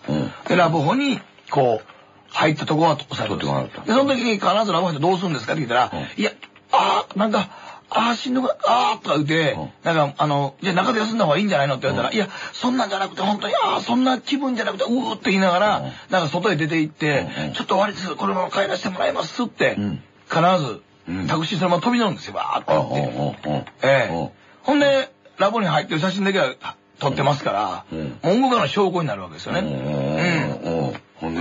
それでしばらくな、1ヶ月ぐらい何やかやりとりした時に、うん、でもそういうお年聞いたら、どう見ても結婚したんでしょって言うんけど、うん、結婚なんかしてないっていうのはメールとかで言い張るんですあ、必ず言い張るね。言い張るね。はいはいはい、はい。で、そのやりとりしてるうちに、必ずほんなら、あの女性の方は、ああ、それやったら私今度、って言うて、あの、本気になってしまったから、私との付き合い真剣に考えてくださいね。ってもちろんだよとかって必ず書いてくるらしいです、男の方が。ほんで、注文は。男注文は。ほんまに。注文が出た。ほんで、それで書いてきて、ほんならって言って、あの、なんか、どの辺に、あの、こあ出会いした、お会いしたコンビニの近くに住んでるんですかとか聞いといて、うん、そうだよ、みたいなこと言うてて、男もアホやからね、もうそれのホーズなんですよ。うんね言うてて、あの近くに住んでんだよみたいなこと言ったら、もうあらかじめ奥さんの話してるわけですから、うんうん、ある日だから、急に、来ちゃったってピンポン鳴らした人なんです、家の。で、奥さん当然依頼者ですから知ってますから。あ、家にその男の家にいきなり。んで、あの、なんか、奥さんはそれ、インターホン取って、あれ誰か来てはるよ。で、誰々さんいますかって言われたけど、って言って、え？って男が見たら、その、インターホンに女の子が映ってるわね。で、バッとドアでも犯人に見えるようなインターホンの。インターホンの。画像。ほんで、バッと男を開けたら、あの、奥さんが覗いて何？って言ったら、え、独身って言ったのにって、そこで言うわけですはいはいはいはい。ああ。ほな男動きで、えーってなると。で、そこでズカズカと入っていて、もう奥さんは依頼者ですから、来んのも全部あらかじめ教えてますから。奥さんは何が目的？別れるためですよ。旦那と？旦那と。別れたい別れたい。ただ別れたいけども、慰謝料とかも欲しいから。ああ、あっちに符をつけときたい。符をつけときたいわけですよ。怖いなうん。まあそれ聞いた時、あの、コンビニの前でこんなこと落としてる女は絶対助けんのこと思いましたけどね。そうやな それで随分減ったな。親切な人だね。親切な人が減ってるよ、それは。ミニスカートの姉ちゃんががコンビニの前でこんなこと落としたら助けませんときね。助けたら終わりですって。既婚者は。そうか。でもそれで、まだ今度メールでもって言わはって。はい。まあそれで、いや、こっちで歌えんだらだけのことやもんね。そうです、そうです。そこだけを狙ってるわけやもん。いや、でも向こうは売ってくるのか。売ってこなかったら。売ってくんのか。はい。ああ、そうか。飯食いったらもう終わりですよ、だから。いや、コンビニ行く前は、いつも一本同じに抜いていった方がええってことやね。ああ、そうそうそう。ね。あの、すっかり抜いていって、コンビニに行くときはそう、すっかり楽な状態で行った方がいい行った方がいいってことですね。これ、これからだからコンビニ行くときは、抜いてから行くってことですね。あ、そういう決定なんや。で、こんなこと探してくれ言うてる女にも気にせず帰るってことですね。あ、もう踏んでもええぐらい。踏んでもええぐらい。知らんならと、お父さんお前が悪いんやぐらいの勢いで帰っとかんと。そんな、そんなことしな、この現代はサバイバル。サバイバルなんですよ。どこで不幸がね、待ち受けるかわからないんですよ。ああ。あとだからね、あの、元、あの、例えばね、あの、なんですかね、その、なんていうの、あの、つながり屋さんみたいな感じで、例えば、つながり屋さんって例えば、例えば、あの、三浦淳さんが、よく行ってる打ち合わせ行ってる喫茶店の上行ってる人の子が可愛いと。うん。もう昭和の初期の話だけどね。いや、でも喫茶店で打ち合わせそんなんあるんですよ。あ、そうなので、そんなんでほんまよく自分で行く飲み屋のね、お姉ちゃん可愛いと。そういうことになる。やって、ほんならそこに頼んだら、その、ある女の子も、その、その、ね、依頼受けたその会社の人は、あ、回しげによ、その店通うわけですよね。うん。で、その女の子と当然仲良くなって。で、大体カップルで、男のカップルで行っとくんですって、カップルで、二人で。工作員ですね。ああ、アベックでね。アベックで、カップルで行って、その飲み屋に行って、その姉ちゃんと友達になって。なってね、何回か一週一ぐらいのペースで行っといて、最後は一人で行くんですよ。女一人で。向こうのお姉ちゃんが、あれ？と。あ、彼とどうしたどうした？何で一人なんですか？って言ったら、いや、実は喧嘩しちゃって、もうダメなんだ、みたいなこと言うんですよ。面白くないよね、男って。ろくな男いないよって。あなたこんな仕事してから男にモテモテでしょとか言うたら、いや、そんなことないですよ、って言われるわね。言われるわね。ほんなら、ちょっと電話番号交換しようって、女同士は交換するんですよ。ほんで、まあメールのやり取り何回かした後に、合コンしようよってなるんですよ。はいはいはい。はい。はいはい。合コンしたら、こっちはだからそのね、自分の友達のいわゆる会社の人間と、そのお姉ちゃんと3人。はい。で、向こうはその、惚れてる男と、あと2人惚れてる男、どう、どう惚れてる男よりも、もっとダサそうな男を、バイトで雇うんですよ。はいはいはい。ええ。せやのに、えー、いけてないやんと思う状態で、合コンやってて、やってんのに、妙に楽しくは振る舞ってんですよ。このイケてない者同士の男とかが、気がつけば、このイケてない者同士がカップルになったりとかしながら、帰っていくのみたいな。どうしても二人っきりにならざるを得ないような状況に追い込んだら、最後はやっぱりメールと交換、電話と交換するんだよね。それで OK なんですって。そこまでやって。あとは知らんけど、そこまでは、ちゃんとくっつき屋さんとしてやるわけですよ。それいくらぐらいあのね、まあ、必要経費とかなんや、除いて、まあ、期間とか結構期間かかってるよね。だから、最終的にはね、あの、まあ、5、60も払わなあかんですよ。そんな払わなあかん払います、払います。はあ、そう。高いなでも、でもね、頼んでくる男はいけてないですからね、間違いなく。まあ、そうやろね。いけてる。いけてたら別にその飲み屋におったら、自分で言うたら言うてええねんもん。番号交換しようや、教えてくれや、とか教えてくれますもん、大概。それが、でもまあ付き合うたとして、はい、行ったとして、はい、もう10年後かなんかに、分かったら怖いね。怖い、ね。実はそうやったっていうのは怖いね。怖いよな。作戦で。作戦でね。でも、そこまで好きやったんということもあるわけね。ああ、そういう。5、60万使ってまで私のこと好きやってるねと。言うて意外と感動する場合もあるか。ありますね。でもさっきのその別れさせ屋さんなんか、コンビニの姉ちゃんのね、こんなことの姉ちゃんなんかは、あれなんですよ。だからその奥さんが、その乗り込んだ時に結婚したのね、で奥さんが、何よこの女って一応小競り合いの芝居もしてるの。やった次の日にはね、もうその前の日から、乗り込んでくる前の時からもうちゃんと離婚届ももう取ってきてるわけですよ。ほんで次の日の夜帰ってきたら離婚届に反を、反抗してサインしてってもう、すぐなるわけですよ。でも押してもうたら、もうすぐさま、実家に帰るというパターンで。うん。なことが待ってんのか。そんなんも5、60万でやってくれるらしい。5、60万でやってくれるんじゃ。まあ意外と2ヶ月ぐらいかかりますからね。5、60万っていうことは、そのエコの車に出れば、コマーシャルに出ればできるんな。できる。でも、いや、エコよりはそっちの方がいいかもしれないけどね。そっちの方がいいか。面白そうやし、思いましたけどね。そんなことあるええ人間って意外とね、あの、無防備は言ってましたよ。例えば50代のね、そういう、その会社勤めてる人でもね、なん、どんなことしはんの？それやったら、だいたい若い子メインでしょうたら、いや、意外と年配でもね、うん、あのー、なんか旦那のね、浮気を、ちゃんと突き止め、突き、浮気を突き止めてほしいのは探偵とか頼むと、あの、バレる場合があるから何気ない時にやってほしい。で、ちゃんと別れさせてほしい時なんかは、うん、その人が釣りが趣味やったら、隣で急に釣り堀で仲良くなったりするんですよね。うん、例えば、磯釣りとか行って。うん、釣らないですよね。どうしてくださいよ、言いながら、意外と人間ってね、仕事の時は警戒するけどね、趣味の部分ではね、警戒しないんですね。で、なんとなくあるんですよ。釣り仲間は正直やとかね。絵描く人に悪い人いないとか。そうそうそう。犬連れてる人に悪い人おれへんとかね。人間ってね、仕事で会うとね、敵対心とか、駆け引きがあるからね、腹割られへんと思うけど、趣味は、あの、ある、だからそのうち趣味とかで喋ってて何遍もついて会うたりとかしたら、釣りの交換情報とかしながら、さりげなく一緒に飲み行ったりするんですね。今日は釣れまんですが飲みに行きまんか軽く一杯。その辺で飲んだら、飲んで喋ってるうちに、いや僕もこんな仕事してましたねとかで、後ろの名刺渡しながら、やってるうちにね、仕事仲間やないと思うと人間ってね、素になってるから、ポロポロ喋るんですよ。いろんなことを。ええ。これもかな。うん。いや、あの、だからあれですよ、俺の友達なんかでもなんか会社のね、いろんなあの、レストランチェーンやってるやつで100件ぐらいやったやつで大皿いますけど、そいつなんかもね、よう同窓会とか来るんですよね。で、小学校、中学校なんかでやったら遊びたがあるんですよ。俺も電話あって、あの時何してんねんとか言って言って、いやもう今仕事終わったとか飲みに行くや飲みに行くやとか、いやちょっと打ち合わせあるからとか、えーとか言ってるんですけど、なんでかなと思ったら、もうね、100件ぐらいチェーン店がやってたらね、やっぱりね、なんかね、あの、業界同士の繋がりとかあったらね、なんか儲けてる儲けてない話になったりとか、どんな言い方してるとか腹探り合いがなるから、無防備になることはないんですよ、飲んでても。あんまり酔うてても酒飲んでも楽しないと。で、無防備なんかええってよう言うんですよ。俺とか全く職種が違うから、別に何の話でも別に、なん。やかんや、めー言うてるね、何にもなんか腹割って喋って、俺のよう喋ってますわ。今の経営の仕方はなんとか言ってますけど、まあそれを俺が生かすわけもないから、関係ないから、へえみたいなことで、そうなんや、大変なんや、はは笑ってるだけですから、あんな時で無防備ですよ、人間って。真帆さんの立場からしたら狙い目やね。狙い目、狙い目。すごいがっぽり稼げるね、うまいそうそうそう。こいつのノウハウを取ろうと。取れる、取って、なんかこう、チェーン店でも、小さなお店チェーン店でも踏むんやったら、スナックでもやんねやったらスナックやってる場合やね。スナックはチェーン店広がれへん。いやでも人間ってあれ無防備だよね、そういうとこって。コンビニの前でコンタクトレンズ探してる姉ちゃんが、そんなこと仕組んでなんてよもやも思わない。でも俺生まれてこの方一回もそんなことはないよ。ないでしょうね。そ、そういうことって、やっぱり、ほんの一例やん。一例一例。要は僕、CD とか本とか出した時に、はい、まあ、特に CD ですわ。はいはい。僕まあ別に CD 出して音楽メインじゃないですから。はいはい。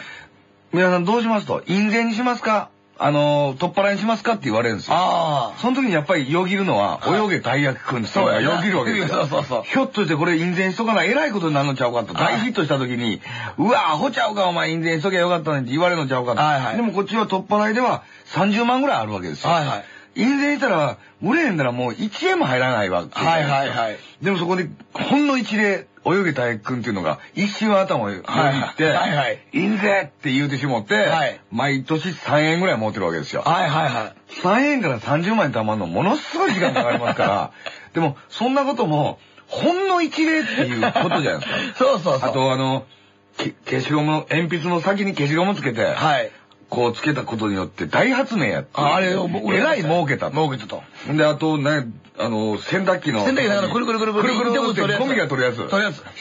一階の主婦が大金持ち。あれで3000万ぐらいいったらしいですか、年間。で、そこまでの金額まで知ってるぐらいな。はい。でも、ほんの一例じゃない一例一例。その前には、何億というアイデアが出て、消えていってるわけですよ。死滅してますからね。で、数えただけでも、4例ぐらいしかないわけですよ。あ、ないないない。そんなもんに頼って生きてるわけですから。はいはい。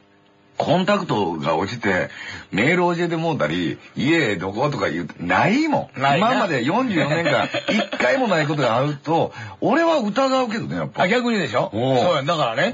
俺も思って、疑うやろと。普通ね、コンタクトレンズ落としたまではまああることやし。ね。店の人も来るやろ。来るやろ。の人もいるやろ。ほんで、見つからんかったらすいませんでしたって言うて、ほんで、あーって汗まみれになった時に、駅まで、駅どっちなんですか？って聞いたら、じゃあ送りましょうかっていう。まあこれも、まああるやろ。まあええやろ。まああるやろ。まあええやろ。ほんでまあ、あの、携帯電話の番号とかね、またお礼したいんでとか教えてもらえませんか？いや、そこら辺からもう怪しいな。せやろ？コンタクトレンズ一緒に探してもうてお礼することあらへんかな、別に。そうやんな。ありがとうでええやん、そこで。そうでな。そんなもんカルピスの折り詰めとか送ってくるわけあらへんもん。あらへんもんな。見つかったらまだしもな。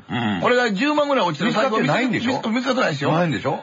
これが10万とか20万入った財布をね、拾ってくれたんだから。それは1割をもらうとかいうのは義務ですけど。ありますけどね。そう。何かのお食事でもっていうのは言われたことないよ、一回も。ないよな。え、そこ、ステーキホルダーとか聞いてしまうもんね、やっぱ。どこ、どこで、天なんかとか聞いてしまうもん。違うな。ああ。そこでだから男もな、ああ、ちゃうと。これなんかおかしいって思わんとな。いや、普通は思うでしょ。思うやんな。俺思ってない男は。でもね、思いましたね。スケベ心がね、そういう全ての不信感をね、打ち消していくねんな、あれ。割といけてるすんなんやね。もちろんいけてる。女の子はね、もちろんそれなりにちょっと色っぽいんですわ。だから、その、自分のスケベ心っちゅうのは、どんどんどんどんその、その結婚してんのに結婚してへんっていう言い切り方とかっていうのは、はいはい。でしょ？もう。いや、ところがね、そういう人いるんや。純ちゃんね、間違ってるわ。間違ってんのあのね、俺も意外とね、最近知ったんですけど、あの漫画の一条ゆかり先生が言ってましたけど、男ってね、あの、まこっちゃんみたいに、わーって、俺結婚してるよってすぐ言うやつ珍しいって言ってましたね。まあ俺も聞かれない言わへんよ。うん、いや、でも、飲み行って、あの、まあ、わ聞かれたら絶対言いますよね。飲み屋からガラガラって飲み屋入って、結婚してんねんって言えておれへんやろ。いきなりのれんくぐってまんま言うてる。こんにちは、大将。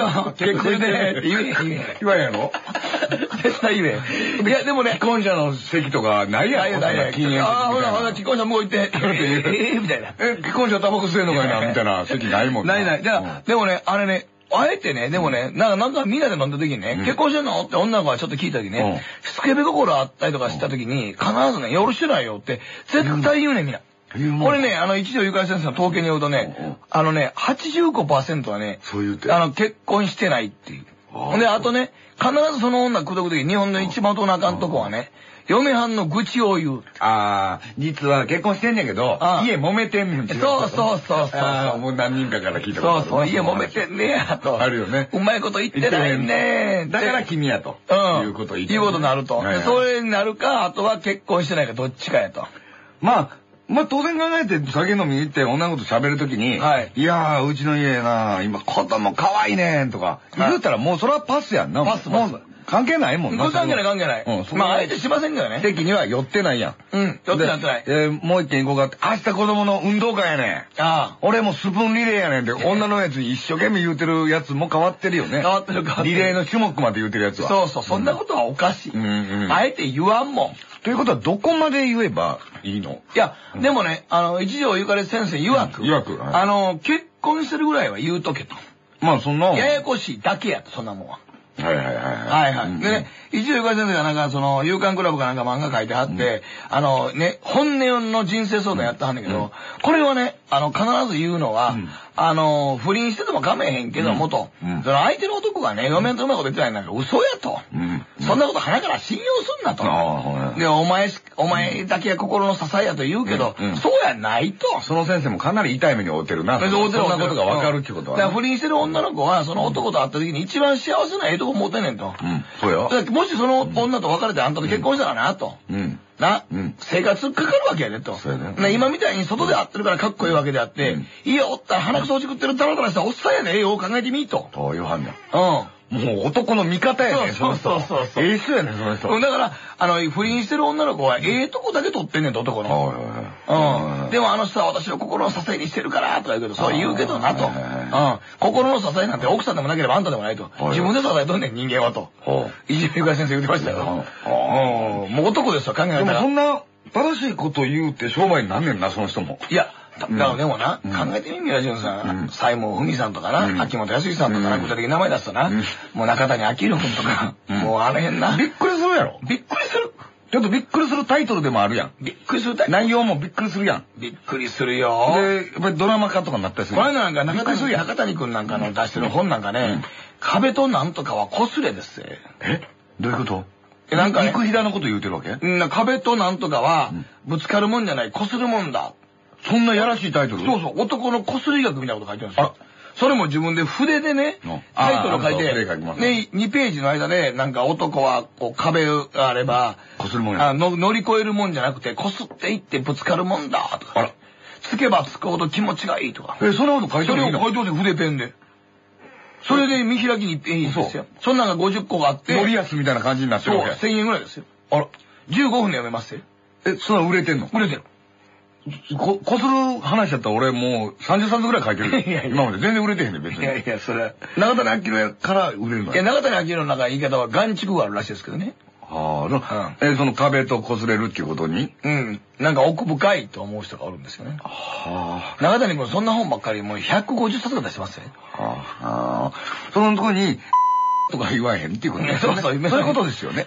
それはあかんと思うわ。それ、それ、でもそっち書くと、男の読んでるやつは、おーってよう言うてくれたと。でも、可愛いやろああ。でも、女のちょっとやらしい話するときは、壁とか、はい。ウォールみたいなことを言うわけ。ああ、ウォールいいね。ウォール。ウォールがいいね。はいはい。WALL がいいね。はいはい。でもね、例えば西門文さんのね、人生で大きな恋愛はね、二度しかないとかいうのが、言うはの。うん。でね、あの例えば、あのー、男からのね、誘いは一度目は断るべきだ。言わの。うん、最後のみさんなんかね。うん。で、そう一回目でなんで断るべきや言うたら、安っぽい女に見られるから。うん。っていうねんけど、一条ゆかり先生は、どんどん乗っていかんかい。はいはいはいはい。ね、そんなね、綺麗な女でもないのにね、男が飲みに行こうかと誘ってんのにね、断ったら、二度目あるかボケっていう。はいはいはいはい。でも、あるかボケって言うてる方は、その一人は稼ぎはもう一つなんか。うん、まあ、ど稼ぎは一緒ぐらいやけど。一緒ぐらいなんでもね、圧倒的に、あの、その、恋愛本に関しては、西門文さんなんか売れてんねん。売れてんねん。ああ、僕も何回か終わり。だから60万部ぐらい売れてますよ。そう。一時出した本なんかの恋愛論なんかは、100, 100万部近くいきました。その時に書いてあったのが人生で大きな恋愛を二度である。一度目の男を誘う断るとかね。もう理想論ですよ。でも現実にね、あの、ちょっとそんな綺麗でもない普通の女の子にね、あ、飲みに行こうやって言ったら、いえ、とか言われたら、もう誘わへんやろ。二度と誘わへんね。な。二度と誘わへん上に、その飲みに行った時に、あのブッファイクがネタにまでするね、俺は。ボコボコに言うのするんだから。するな。するよ。面白いもん。あいつなんやねん、気取って。前からあいつ鼻のとこに鼻くそついてんだよ。それほくろやんけぐらいは言うな、俺は。ほくろのとこにちょっと毛生えてる気づいてへん言うな、言うな、言うな。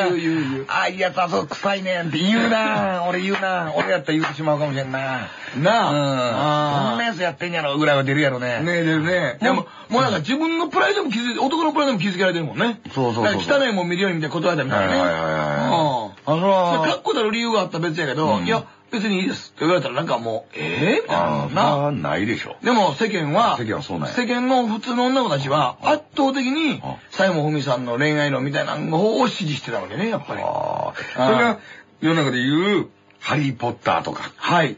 サッカーとか。サッカーそういうことですよね。そうです、そうです。あの、タイタニックとか。タイタニック。そっちの方ですね。少林サッカー。少林サッカーではない方ですよね。おもろいですよね。めちゃくちゃおもろい。あれはやったと思った。俺もあれ久しぶりに香港映画やるなと。ほんで、ほんでね、この世の中ですよ。はい。サッカーの。はい。僕、サッカー否定派でも肯定派でもないですが。はいはい。結局顔じゃないですか。はい。イケメンチームが集まってるチームは応援してるけど。イタリア、それからイングランド。イングランド。フランス。日本もまあかっこええと。かっこええ。あのカメルーンとか言うてるやつおらへんあの、村の人だけやん。ああ、中津江村のね。うん、あの村の人だけやん。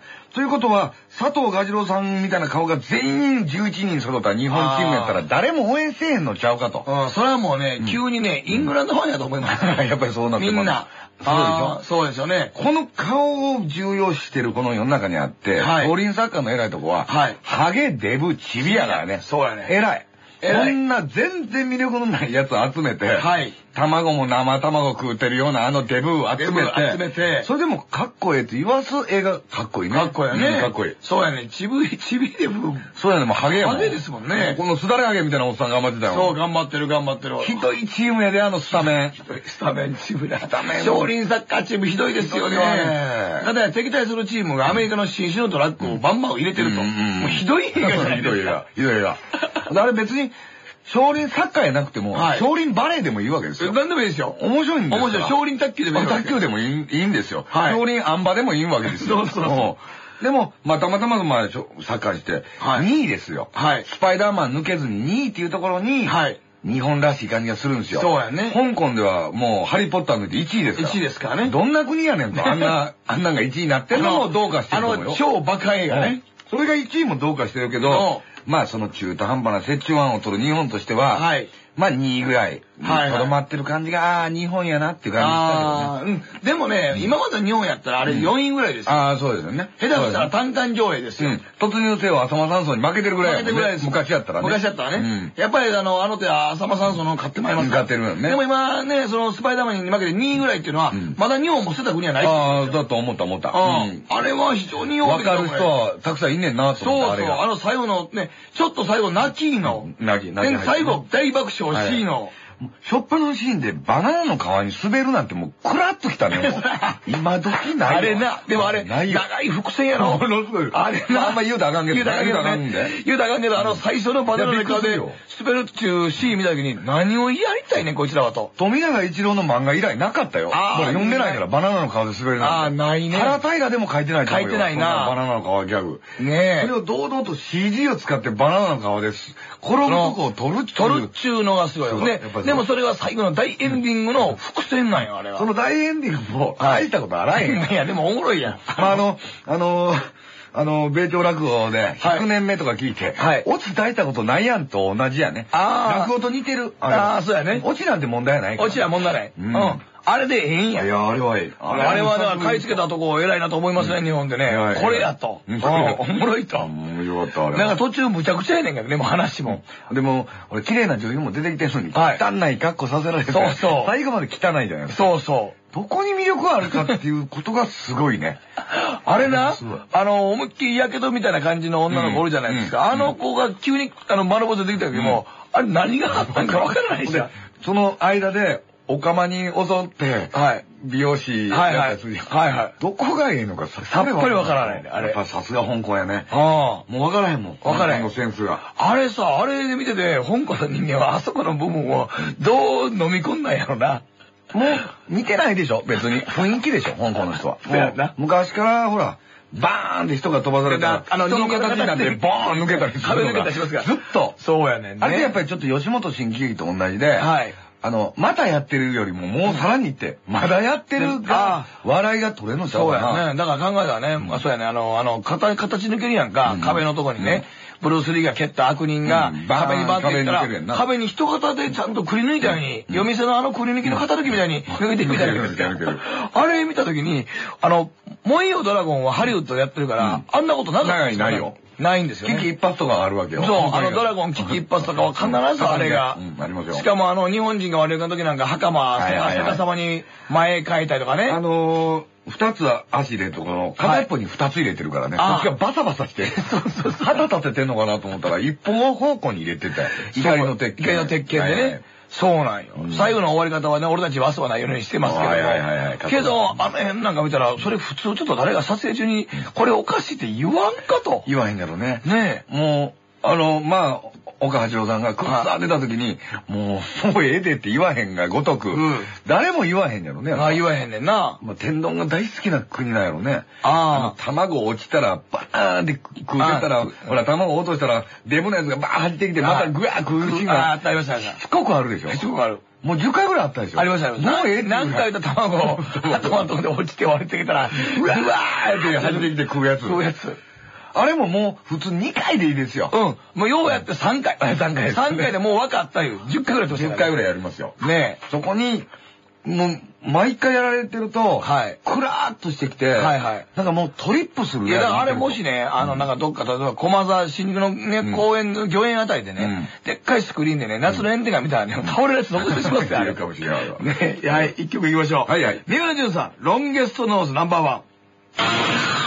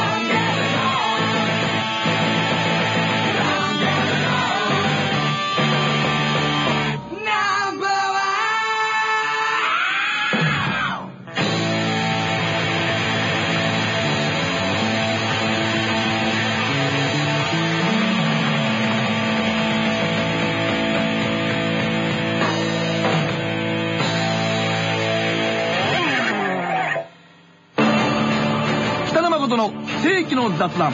この番組は TBS ラジオ北野誠保存会の提供でお送りしています。さあ、えー、今日はですね三浦淳さんをお迎えしてお送りしております、はい、お願いします、えー、ロンゲストのナンバーワン。まあ、ここまで頑張って歌うようなテーマでもないんですがね。まあ、一応、天狗を普及しようとして、作ったんですが、はいはい。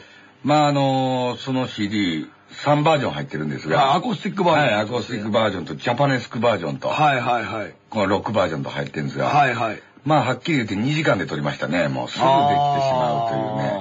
なぜ、こう、売れてる人たちはあんな時間がかかるんやろって言って不思議でしょうがないんだけど。はい。行ったら、もう自分が OK 出したらもうしまいじゃないですか。はいはい。自分からディレクターが言う前に、OK! って俺言うて、はい、いつもスタジオ出るんですけど、OK! OK! って言って、歌い切ったと。もう終わりやって言って。今日、レコーディングの見方で言うと、美空ひばりさんとあんま変わりませんね。そんな、やっぱ一発ですか？美空ひばりさんはスタジオに入ってきて、はい、歌って、じゃあ帰りますって。ああ。大物か小物がやることですよね。どっちかですよね。テイク一発一発 OK。ね。そうですよね。はあ。30万、これ、取っ払いは。これ持ってないんちゃうかな。あの、展覧会で、はい。あ、今回テーマが天狗やったんですよ。はいはいはい。展覧会のね。はい。で、一応、天狗っていうキャラクターを作ったわけですよ。はいはい。まあ、どっかの会社のね、キャラクターに似てますけど、はい。それは天狗なんですよ。はい。で、それのテーマ曲作ろうっていうことで、はいはい。これもう、ここでさ、この、放送局ですよ。はい。花丸マーケットで、はい、去年12月に、はい。天狗の山、日本一長い天狗の花探してますって、はいはい、花丸マーケットで言うたら、はい、おばちゃんからいろいろ情報いただいて。で、北海道の、はい。えっ、ー、と、天狗山湯とかあるんですよ。はいはい。北海道に多分天狗伝説なんてないんですよ。ないでしょないんですよ。大体京都が発祥でしょ。京都、鞍馬。鞍馬ですね。あと、出羽三山の方にもあります。はい、はい。いろいろ東北にもあるんですよ。あ、大のね。うん。はい。あのー、北海道ないんですけど、まあ多分最近つけた名前なんやろうけど、はい、天狗のコレクションがいっぱいあるんですよ。はいはい、スキー場になってたんですよ、はいはい、天狗山。うん、で、そこで、一発曲作っていって、はいはい、そこで雪の中歌って、はい、うん。岡江久美子さんに嫌がられたっていう話なんです、ね、なるほど、なるほど。はい、岡江久美子さんにね。うん。あの、天狗の、この歌詞がね、はい。天狗の赤は茹でたカニっていうとこから始まるんですよ。はいはい。天狗の花は伸びた何っていうとこが、はい、もう一つお気に召さなかったみたいで。ああ、岡江さんに。はい。はいはい。だから、一応 CD した時は、えー、天狗の花は伸びた何って聞いてるようにしたんですけど、はいはい、うん、もう何って言い切ってしまうと、あ、何ですか、ね、近々の話になってしまいますので、はいはいはい、何っていうことで、まあ、テント張ってグー。はい。まあ朝でもなかなか、今、ペレがコマーシャルやってますけど、はい、ED,、ね、ED 事情で、はいはいはい。なかなか朝テント張る人が少なくなってきた、この世の中に。はいはい。テント張ったらグーやないかということで。あ、なるほど。天狗と引っ掛けたわけです。なるほど、なるほど。はあ、まあ、このキャッチーなとこを入れすぎて、はい。どこを聞いていいのかわからなくなってしまった、また一つの例ですね。例ですね。はい。岡井久美さんどうしていいかわからなかった。はい、はい、はいはいはい。こういう曲って、流行る要素はあるわけですよ。ああ、のー、なんか政治の問題になって国会で問題になったりするときに、天狗になってんのちゃうかと。はい。鈴木宗よとか言うたときに、はい、テンと張ってグーなんて、いいわけですよ、BG には。本当に。はいはいはい、本当は。あ、使いやすいですよね。使いやすいんですよ。うん、僕の曲もともと使いやすいんですよ。はい。あるフレーズさえ取れば。はいはいはい。前やったやつでね、あの、えー、マンっていう曲作ったんですけど、はいはい、これ、岡間の剣 with スーパーホモンキーズっていうのを歌ったやつ、はいはい。名古屋のやつ。名古屋の岡間の剣が歌ったやつなんですが、はいはい、そこも途中で、抜本的に改革をっていうフレーズが入るんですよ。それもこう、ちょっと踊りが入るんですよ。はいはい。抜本的にっていう、抜本っていう感じが好きで。はい。で、それもまた政治が、こう乱れた時に、はい、BG で抜本的に改革をっていうのは、はい、いけるんですけども、はい、一回も使われないっていうのはどういうことかなと訴えたいんですが、はい、そやね、考えたら政治家なんかで中田では泣けへんやつが泣いたり泣かないでも、あるでしょ。はいはい。ほんでもう暗い事件の時はピンク・フロイドとか、大体決まってるわけですよ。そう。ELP 使われたりはいはいはい。僕もね、かなりその、えっ、ー、と、問題事故とか、その事件の BG 目指して作ってるわけですよ。ああ、はいはいはい。まだ一回もデビューしてないっていうのはどういうことかなって、残念なんですけどね。なるほど。こういう曲って一発聴いた時に、ああ、当たらへんなって、なんでわかるんですかね何やろな。それは何ですか？僕はそれ、それが分からずずっと作り続けてるんですけど。真央さん今ちょっと出だし聞いてどう思うわけいや、これだからまあ、基本的なハードロック路線。まあハードロックですよね。まあ悪くないじゃないですか。悪くないです。悪くないじゃないですか。まああの、ハードロックの王道ですわ。はいはい。はい。はい。悪くはないですそこまでは悪くない。わかりますね。あの、この、あの、ハードロック路線がまずちょっとパイが少ない。あ、今は今は。あ、今はまあラップとか。ラップ、そういう音楽になってます。はい、なってますもんね。今そっちに流れてる中で。ロックは流行ってないわね。そう。今だからそのハードロックというのが、まず今流行ってない。ここがまず。ここまず一つ決定、決定ね。はい。これパイが小さい。あ、パイが小さい。ハードロック。はいはい。でもハードロックは、でもほら、 B'z みたいな人だってハードロックじゃないですか。まあハードロックですね。はーとか言ってたりするじゃないですか。はいはいはい。 B'z が1位になったりするような中ですよ。はいはい。ナンバーワンでもいいわけじゃないですか。はいはい。それはダメなんですか？いや、あのね、まず最初の歌詞の一番最初のね、はい、まず、まずイントロが最初の、ありますよね、バーンと入ります。はい。天狗の赤は茹でたかに。まあ、天狗の赤って茹でたかに似てますよ。いや、ちゃうみんなが思ってること代弁をしたわけですよ。いや、違うの？え、どういうことなんですか？この一行目のワンフレーズを聞いた瞬間に、これ何が言いたいの？と思った。あれ？おかしいな。僕、冬作ったんですよ。はい。カニも食べたかったんや。わかるわかるわかるわかる。わかるでしょ？カニ鍋食べたら赤いなと思いますもん。うわ、赤いな。この色は何や？天狗の色とちゃうかちゃうって前から思ってたんですけど思ったんですよ。はい。あ、ごめん。あ、ちょっと携帯が、携帯が鳴ります。メールが鳴りましたね。はいはい。ちょっとくの忘れレッドイットビーですね。ちょっと待ってください。はい。切ってきます。はいはい。すみません。いや、いいですよ。いや、ええ時で話終わってたから。いやいや、もうちょっとこれ分析ごめんごめん。ちょっと聞きたいんですよ。え？まあ、天狗の赤は茹でたカニ。まあ、ここは、100歩譲って、これは流行らへんっていう。はいはい。あ、分かった。はい。これはもういいですわ。はい。でも、別に、ロンゲスノーズとかかっこいいじゃないですか。あ、ここはかっこいいですよ。かっこいいですか？はい。サビの部分は全然別にええと思います。問題はないですか？はい。はい。だから、なんか意味が、はい。だから今のね、今の歌ってほら、意味ないじゃないですか、別に。あれ、あるんですか？いや、ほらでも、今一応売れてるあゆなんかは、あの、戦ってるとか、あの、居場所がなかった。そう、居場所がなかったとかね。ぼ、あの、女の子やねんけども、僕たちはとかって言。あ、言うたり。言うたりとかして、ちょっとなんかあの、あ、違うかなって思わせるわけですよね。違うかなと思わせていや、つまりつまり、普通の女の子の歌詞とかやったら、あ、僕たちはじゃないですよあ、ないもんね。今、森田同時は僕やったけどね。ああ、の、アイドル路線はね。はいはい、違うわね。うん。でも、あ、そう、そういえば、愛は森田同時ながらですよ。森田同時。作詞の時からは。あとは、あの。今風にポップしてるだけのことで。はいはい。はい。斎藤優子ですよ。僕は元気なんて言って。ああ、はい。ボストン型のメガネかけた人 いたでしょ。いました、いました。あの人僕言ってましたよ。あ、僕言ってましたね。気色悪いなと前から思ったんですけど。まあまあ、愛は。愛はいいよ。愛はいい。可愛いから。可愛らしいですからね。うん。ええ、でも愛なんか割と、なんか、実は応援ソング系ですよね。あゆが歌ったらどうなんですかこれは？ロンゲストノーズナンバーは。天狗の赤は茹でたかにって言うた時には、もう、あゆ失脚ですか？あゆっていう存在すら。これね、抹殺ですあゆに歌わせたら、どうなんどうなんだよな。まあ、ええわ。シングル切らんでええわ。LP に。アルバム入ってんねん。一曲だけロンゲストノーズナンバーワンが。あの、何、なんかスペシャルサンクス、純三浦って書いてある。書いてある。書いてあるの。書いてあるの。で、今までいい場所がなかったみたいに共感できるわとか、はい、頑張れとか思った歌の時に、い。きなり天狗な、天狗の赤は茹でたかに。どうすんやろ、みんな。いや、これはだからね、あの、多分まあ、あなんですかね、アルバムに入れた瞬間に、お客さん聞いた時に、ああ、あゆが現役を広げたと。撮りますか？と、撮るか、まあ、ホームページに、あの、書き込みが増えて、アホかと。アホか出るか。じゃあちょっとあの、もう一曲、もう一曲そのアコースティックバージョン聞いてみましょう。アコースティック聞いてもらいます？あ、聞いてもらいましょう。本当。このロンゲストノーズナンバーワンのアコースティックバージョン。これ寂しいですよ。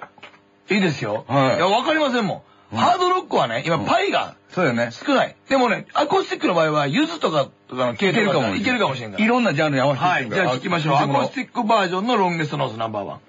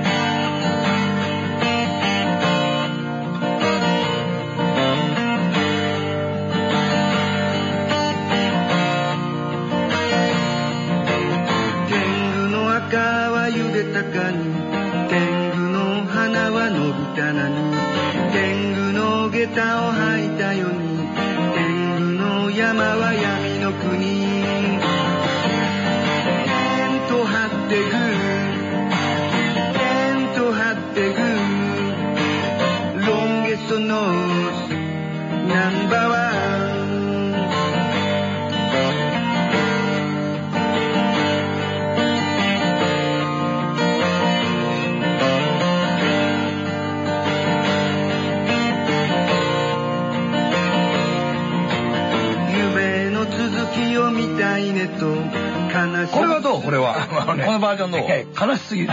そう。でも、いきなり、いきなりハーモニカって。いや、まあでも長渕さんもやりますよ。やるでしょ。やりますやります。静かならアフガン。やったっけ？あ、びっくりしたかなびっくりしたあの曲。あの曲びっくりしたわ、俺。初めて聞いたらびっくりするな。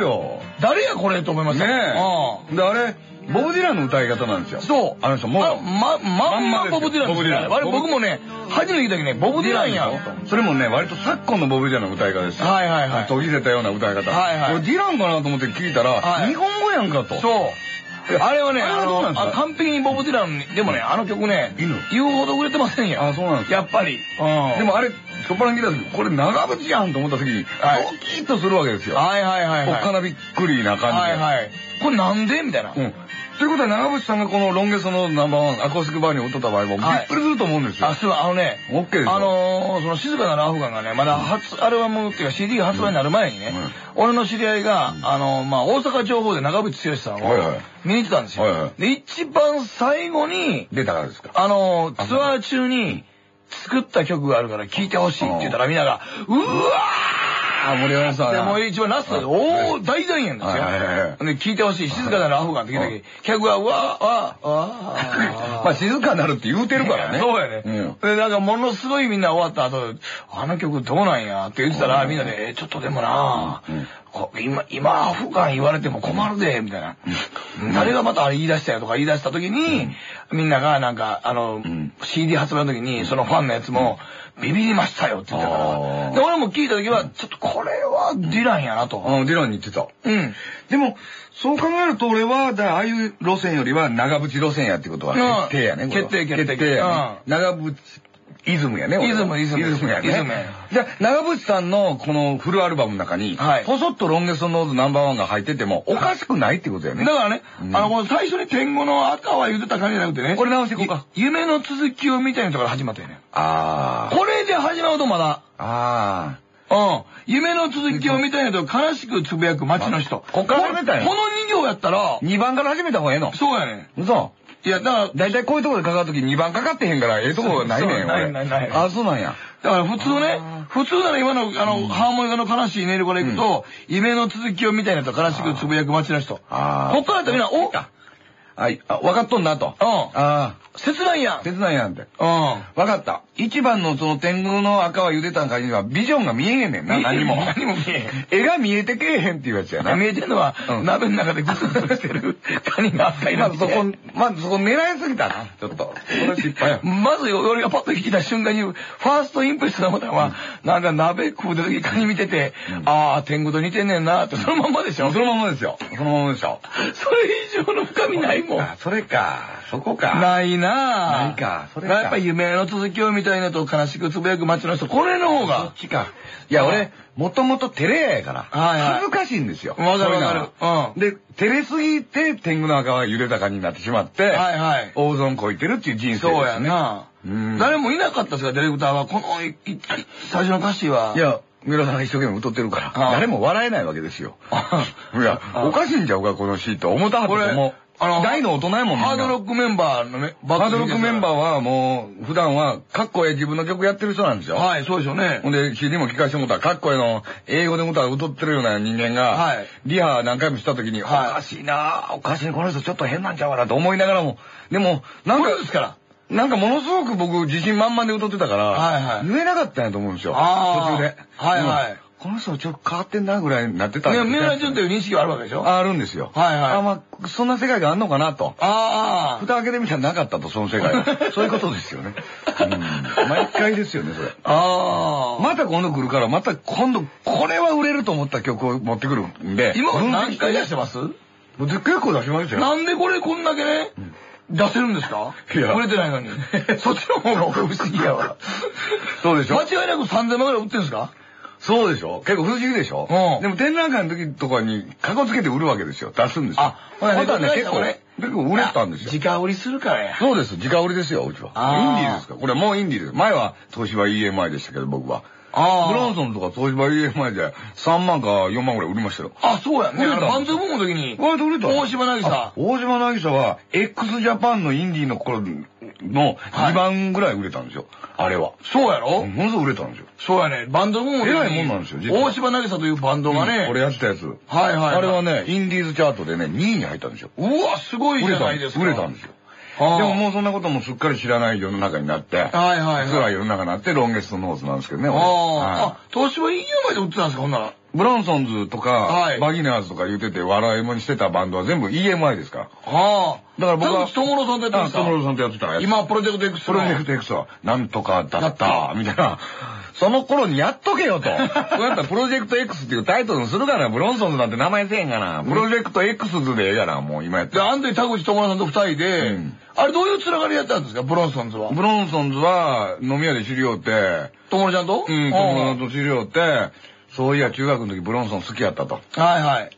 でも今、テレ東しかやってへんなと。ああ。テレ東でものすごい汚い画面でやってるブロンソンってグッとくるなー言って盛り上がってきたらだんだんブロンソンが、ブロンソンが好きになってきて。はいはい。思い出して、中学時代の。はい。そういや、あの人アクション一筋やったけど、うん、当時一時馬鹿にしたと。アクション一筋な人間を。はいはい。でも偉かったやないかと、あの人は。うん一芸に秀でてて、すごいと思ってやっぱりブロンソンのこと調べていったら、嫁さんのきっつい、もう最後きつなった嫁さんを若い丈夫の役で使ったりね。はいはい。あの人もうファミリーで動いてるから、全部映画一緒の人やねん。吉本新劇みたいになってる。ああ、一座やね。うん。中山美穂みたいな人が出てはるわけですよ。はいはいはい。そういう一座でやってることにもすごい面白くなってきて、はい。ブロンソンのビデオも中古屋でもバーン買い占めて、まず活動から始まって、はい、下北沢と新宿の中古ビデオのブロンソン。はい。今まで1500円ぐらいのやつを、はい。8000円まで僕らが上げましたから。あ、買い、買いしてたために？買いに行こうと思ったら次8000円になってんねん。ああ。確実に売れるから。俺やねん、買うてんの。でも自分で首絞めてしまって。ああ、そうかそうか。まだ入れとけば三浦淳がやってくる。あいつ田口智郎と三浦淳がやってくると。もう下北で取り合いして買うたぐらい。はい。ブロンソンが好きで。はいはい。ほんで、やってたんですよ。ブロンソンで。ほんで、EMI の人に電話して、はい。今こんなチーム積んでんだけど、レベル出してくれへんかな。はいはい。まだそこの人も面白い人で、はい。何にも聞いたことないですよ。はい。はい。オッケーってあっちが聞こえてきて、大脱走の手が痛いんだけど、はいはい。たったったたたたた。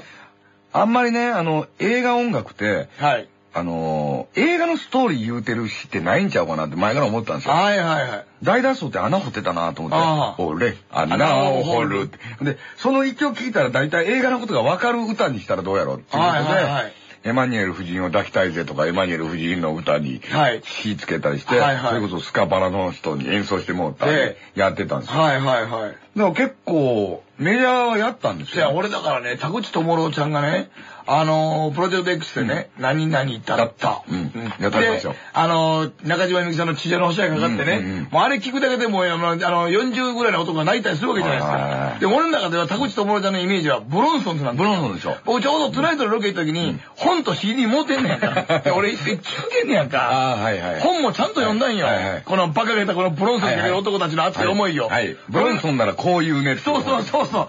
ブロンソンならこんな場面はこういうこと言うやろと。勝手に書いてるだけだけど。そうそう。まあ、ブロンソンにかける男たちの熱い重きが、はいはい。三浦淳さんと隠れてるけど、田口智郎なんよね。そうや。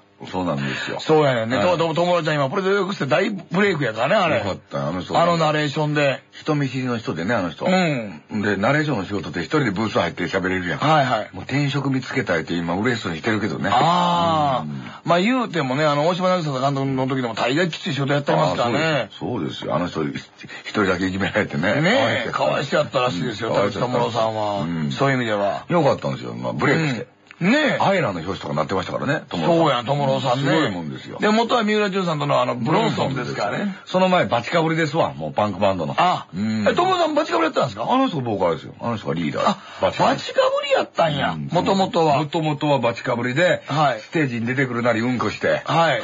みんなの前でうんこしたりするパンク歌手だった。ああ、そうそうそうそう。それが、なんとかなんた。だったになったいや、なんかバチかぶりやもんな。バチかぶりですよ。あの、超ハードコアパンクバンドやもん。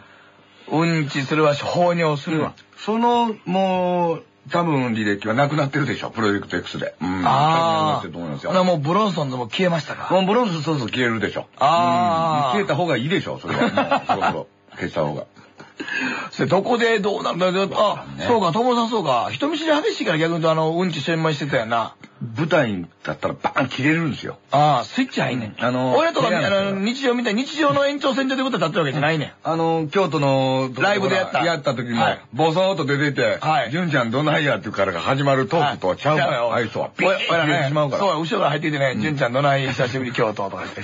そんなんちゃうねんね。ふっと見て楽屋かなと思うようなことで始めてる始めてる僕らは。大体僕らはお笑い系大体そうですもん。ああ、そうああ、そうね、やっぱ切れるんですよ。だから鉄夫とかああいう演技があるわけで。ああ。切れてるんですよ、やっぱ。はいはいはい。やっぱ入ると切れるんや。切れますよ。鉄夫は完璧そうですもんね。切れてる切れてる。ねあんな人じゃないですよ、いつも。優しい人なんですけどね。普段飲んだらもう寡黙な。おとなしい人おとなしい人見知りの激しい人でしょ？みんなに聞くと噂を。チンパは出しますけどね。ああ。ふっと見たら出してたりする場合はあります。ああ、急に切れてるんですね。あの、小さく静かなるアフガンっていう形で、ああ、なるほど。下は出してる場合ありますけど。なるほどね。あんまり人と喧嘩したりそんなしてないから。タイプですもんね。もうええ。じゃあ今はそう転職なんですね。転職やって言ってましたよ、この本人。先生から。まあよかったな、あれで。うん、よかったなうん。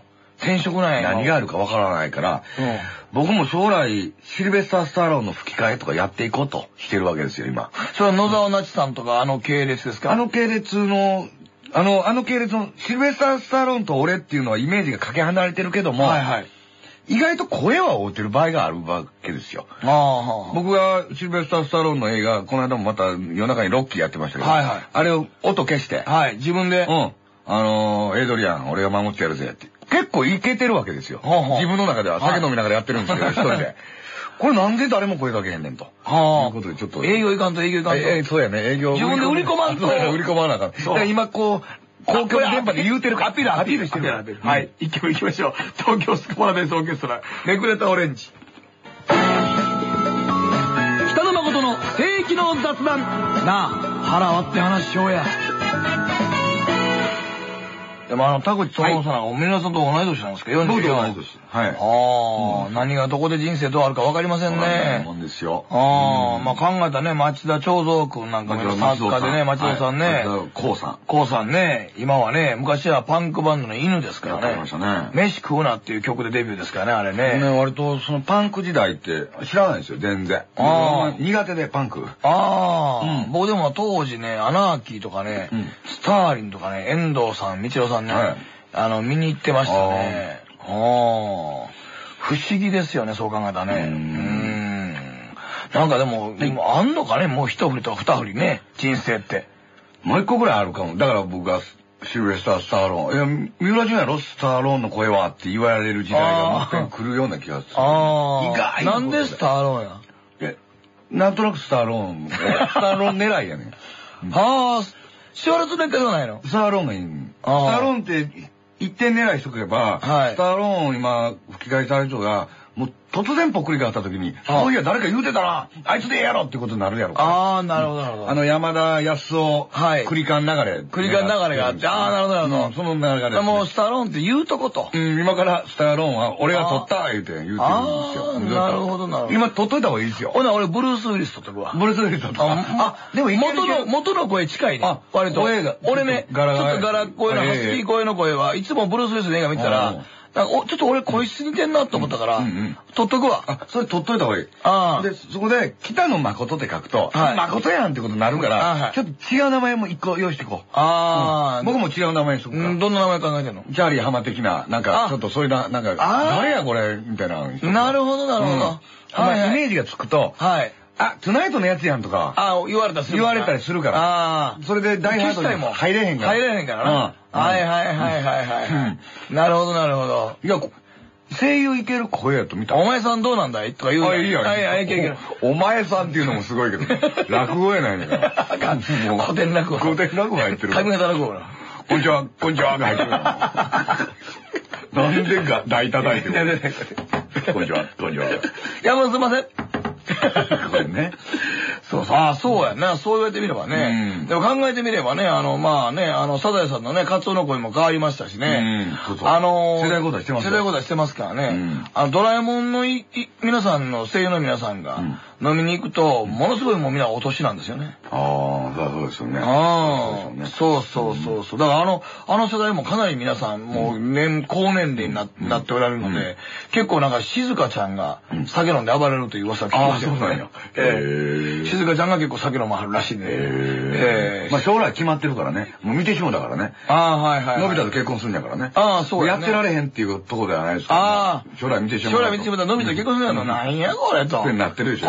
これからお客さんが、どうせ将来俺、坊主で家継ぐねんとか言うてるやつと同じですれば。同じやね。何やったって俺らな、みたいな。ああ、そうかそうか。そうやね。ほなもう、スタローンで僕はもうブルース・ウィリスをもらいに行きますわ。ああ。共演した時はよろしく、また。あ、そうやね。まあ、あるかな。わからん。僕、ブルース、あの、スタローンって好きなもんないねん、もともと。あんま好きじゃないでしょ？アホみたいやろ、あの人。もういつもね。ああ。で、最後になんか一つ、なんかうんちくみたいに言わはんだけど、ちょっと外してるでしょ？外してる、外してる。言わんでええのに。あの、ドリブンなんてね。あ、ドリブン笑ったな。爆笑やったね、あれ。爆笑やね。バカ映画。あれは、まあまあ、これだろうね。でも、あの、あのマゲドンもね、大概バカ映画と思いましたね。改めてちゃんと見ましたよね。アホですね、あの映画も。ドリブンも相当アホやったね。ああ。あれねってなんかバカ映画ですよね、ほんまに。あのドリブンで、恋をするわけじゃないですか。はい、女と、はいはい、よくレース上ね、うろうろしてる女と、あの若い兄ちゃん。若い兄ちゃんと。あの、やりまんでしょ、あれ。やりまんですよね。今、やりまんっていうか、あの、ヤマリンに似てるね。ああ。ヤマリンとヤやりまん。やりまんって似てますよね、確かに、ね。何ひらがなにしていくのやろ、あれ、ヤマリン。やりまんって思われたく。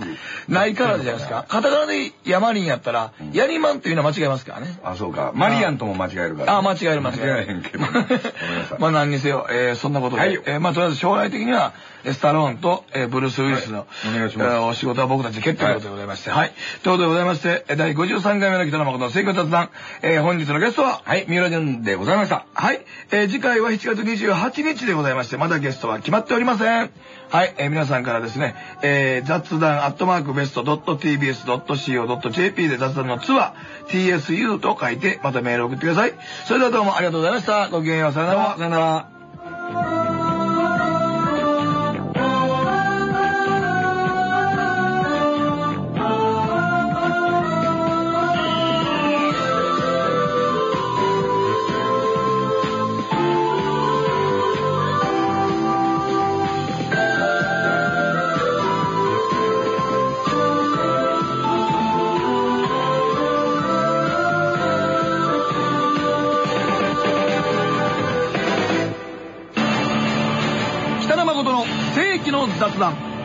組は TBS ラジオ北野誠保存会の提供でお送りしました。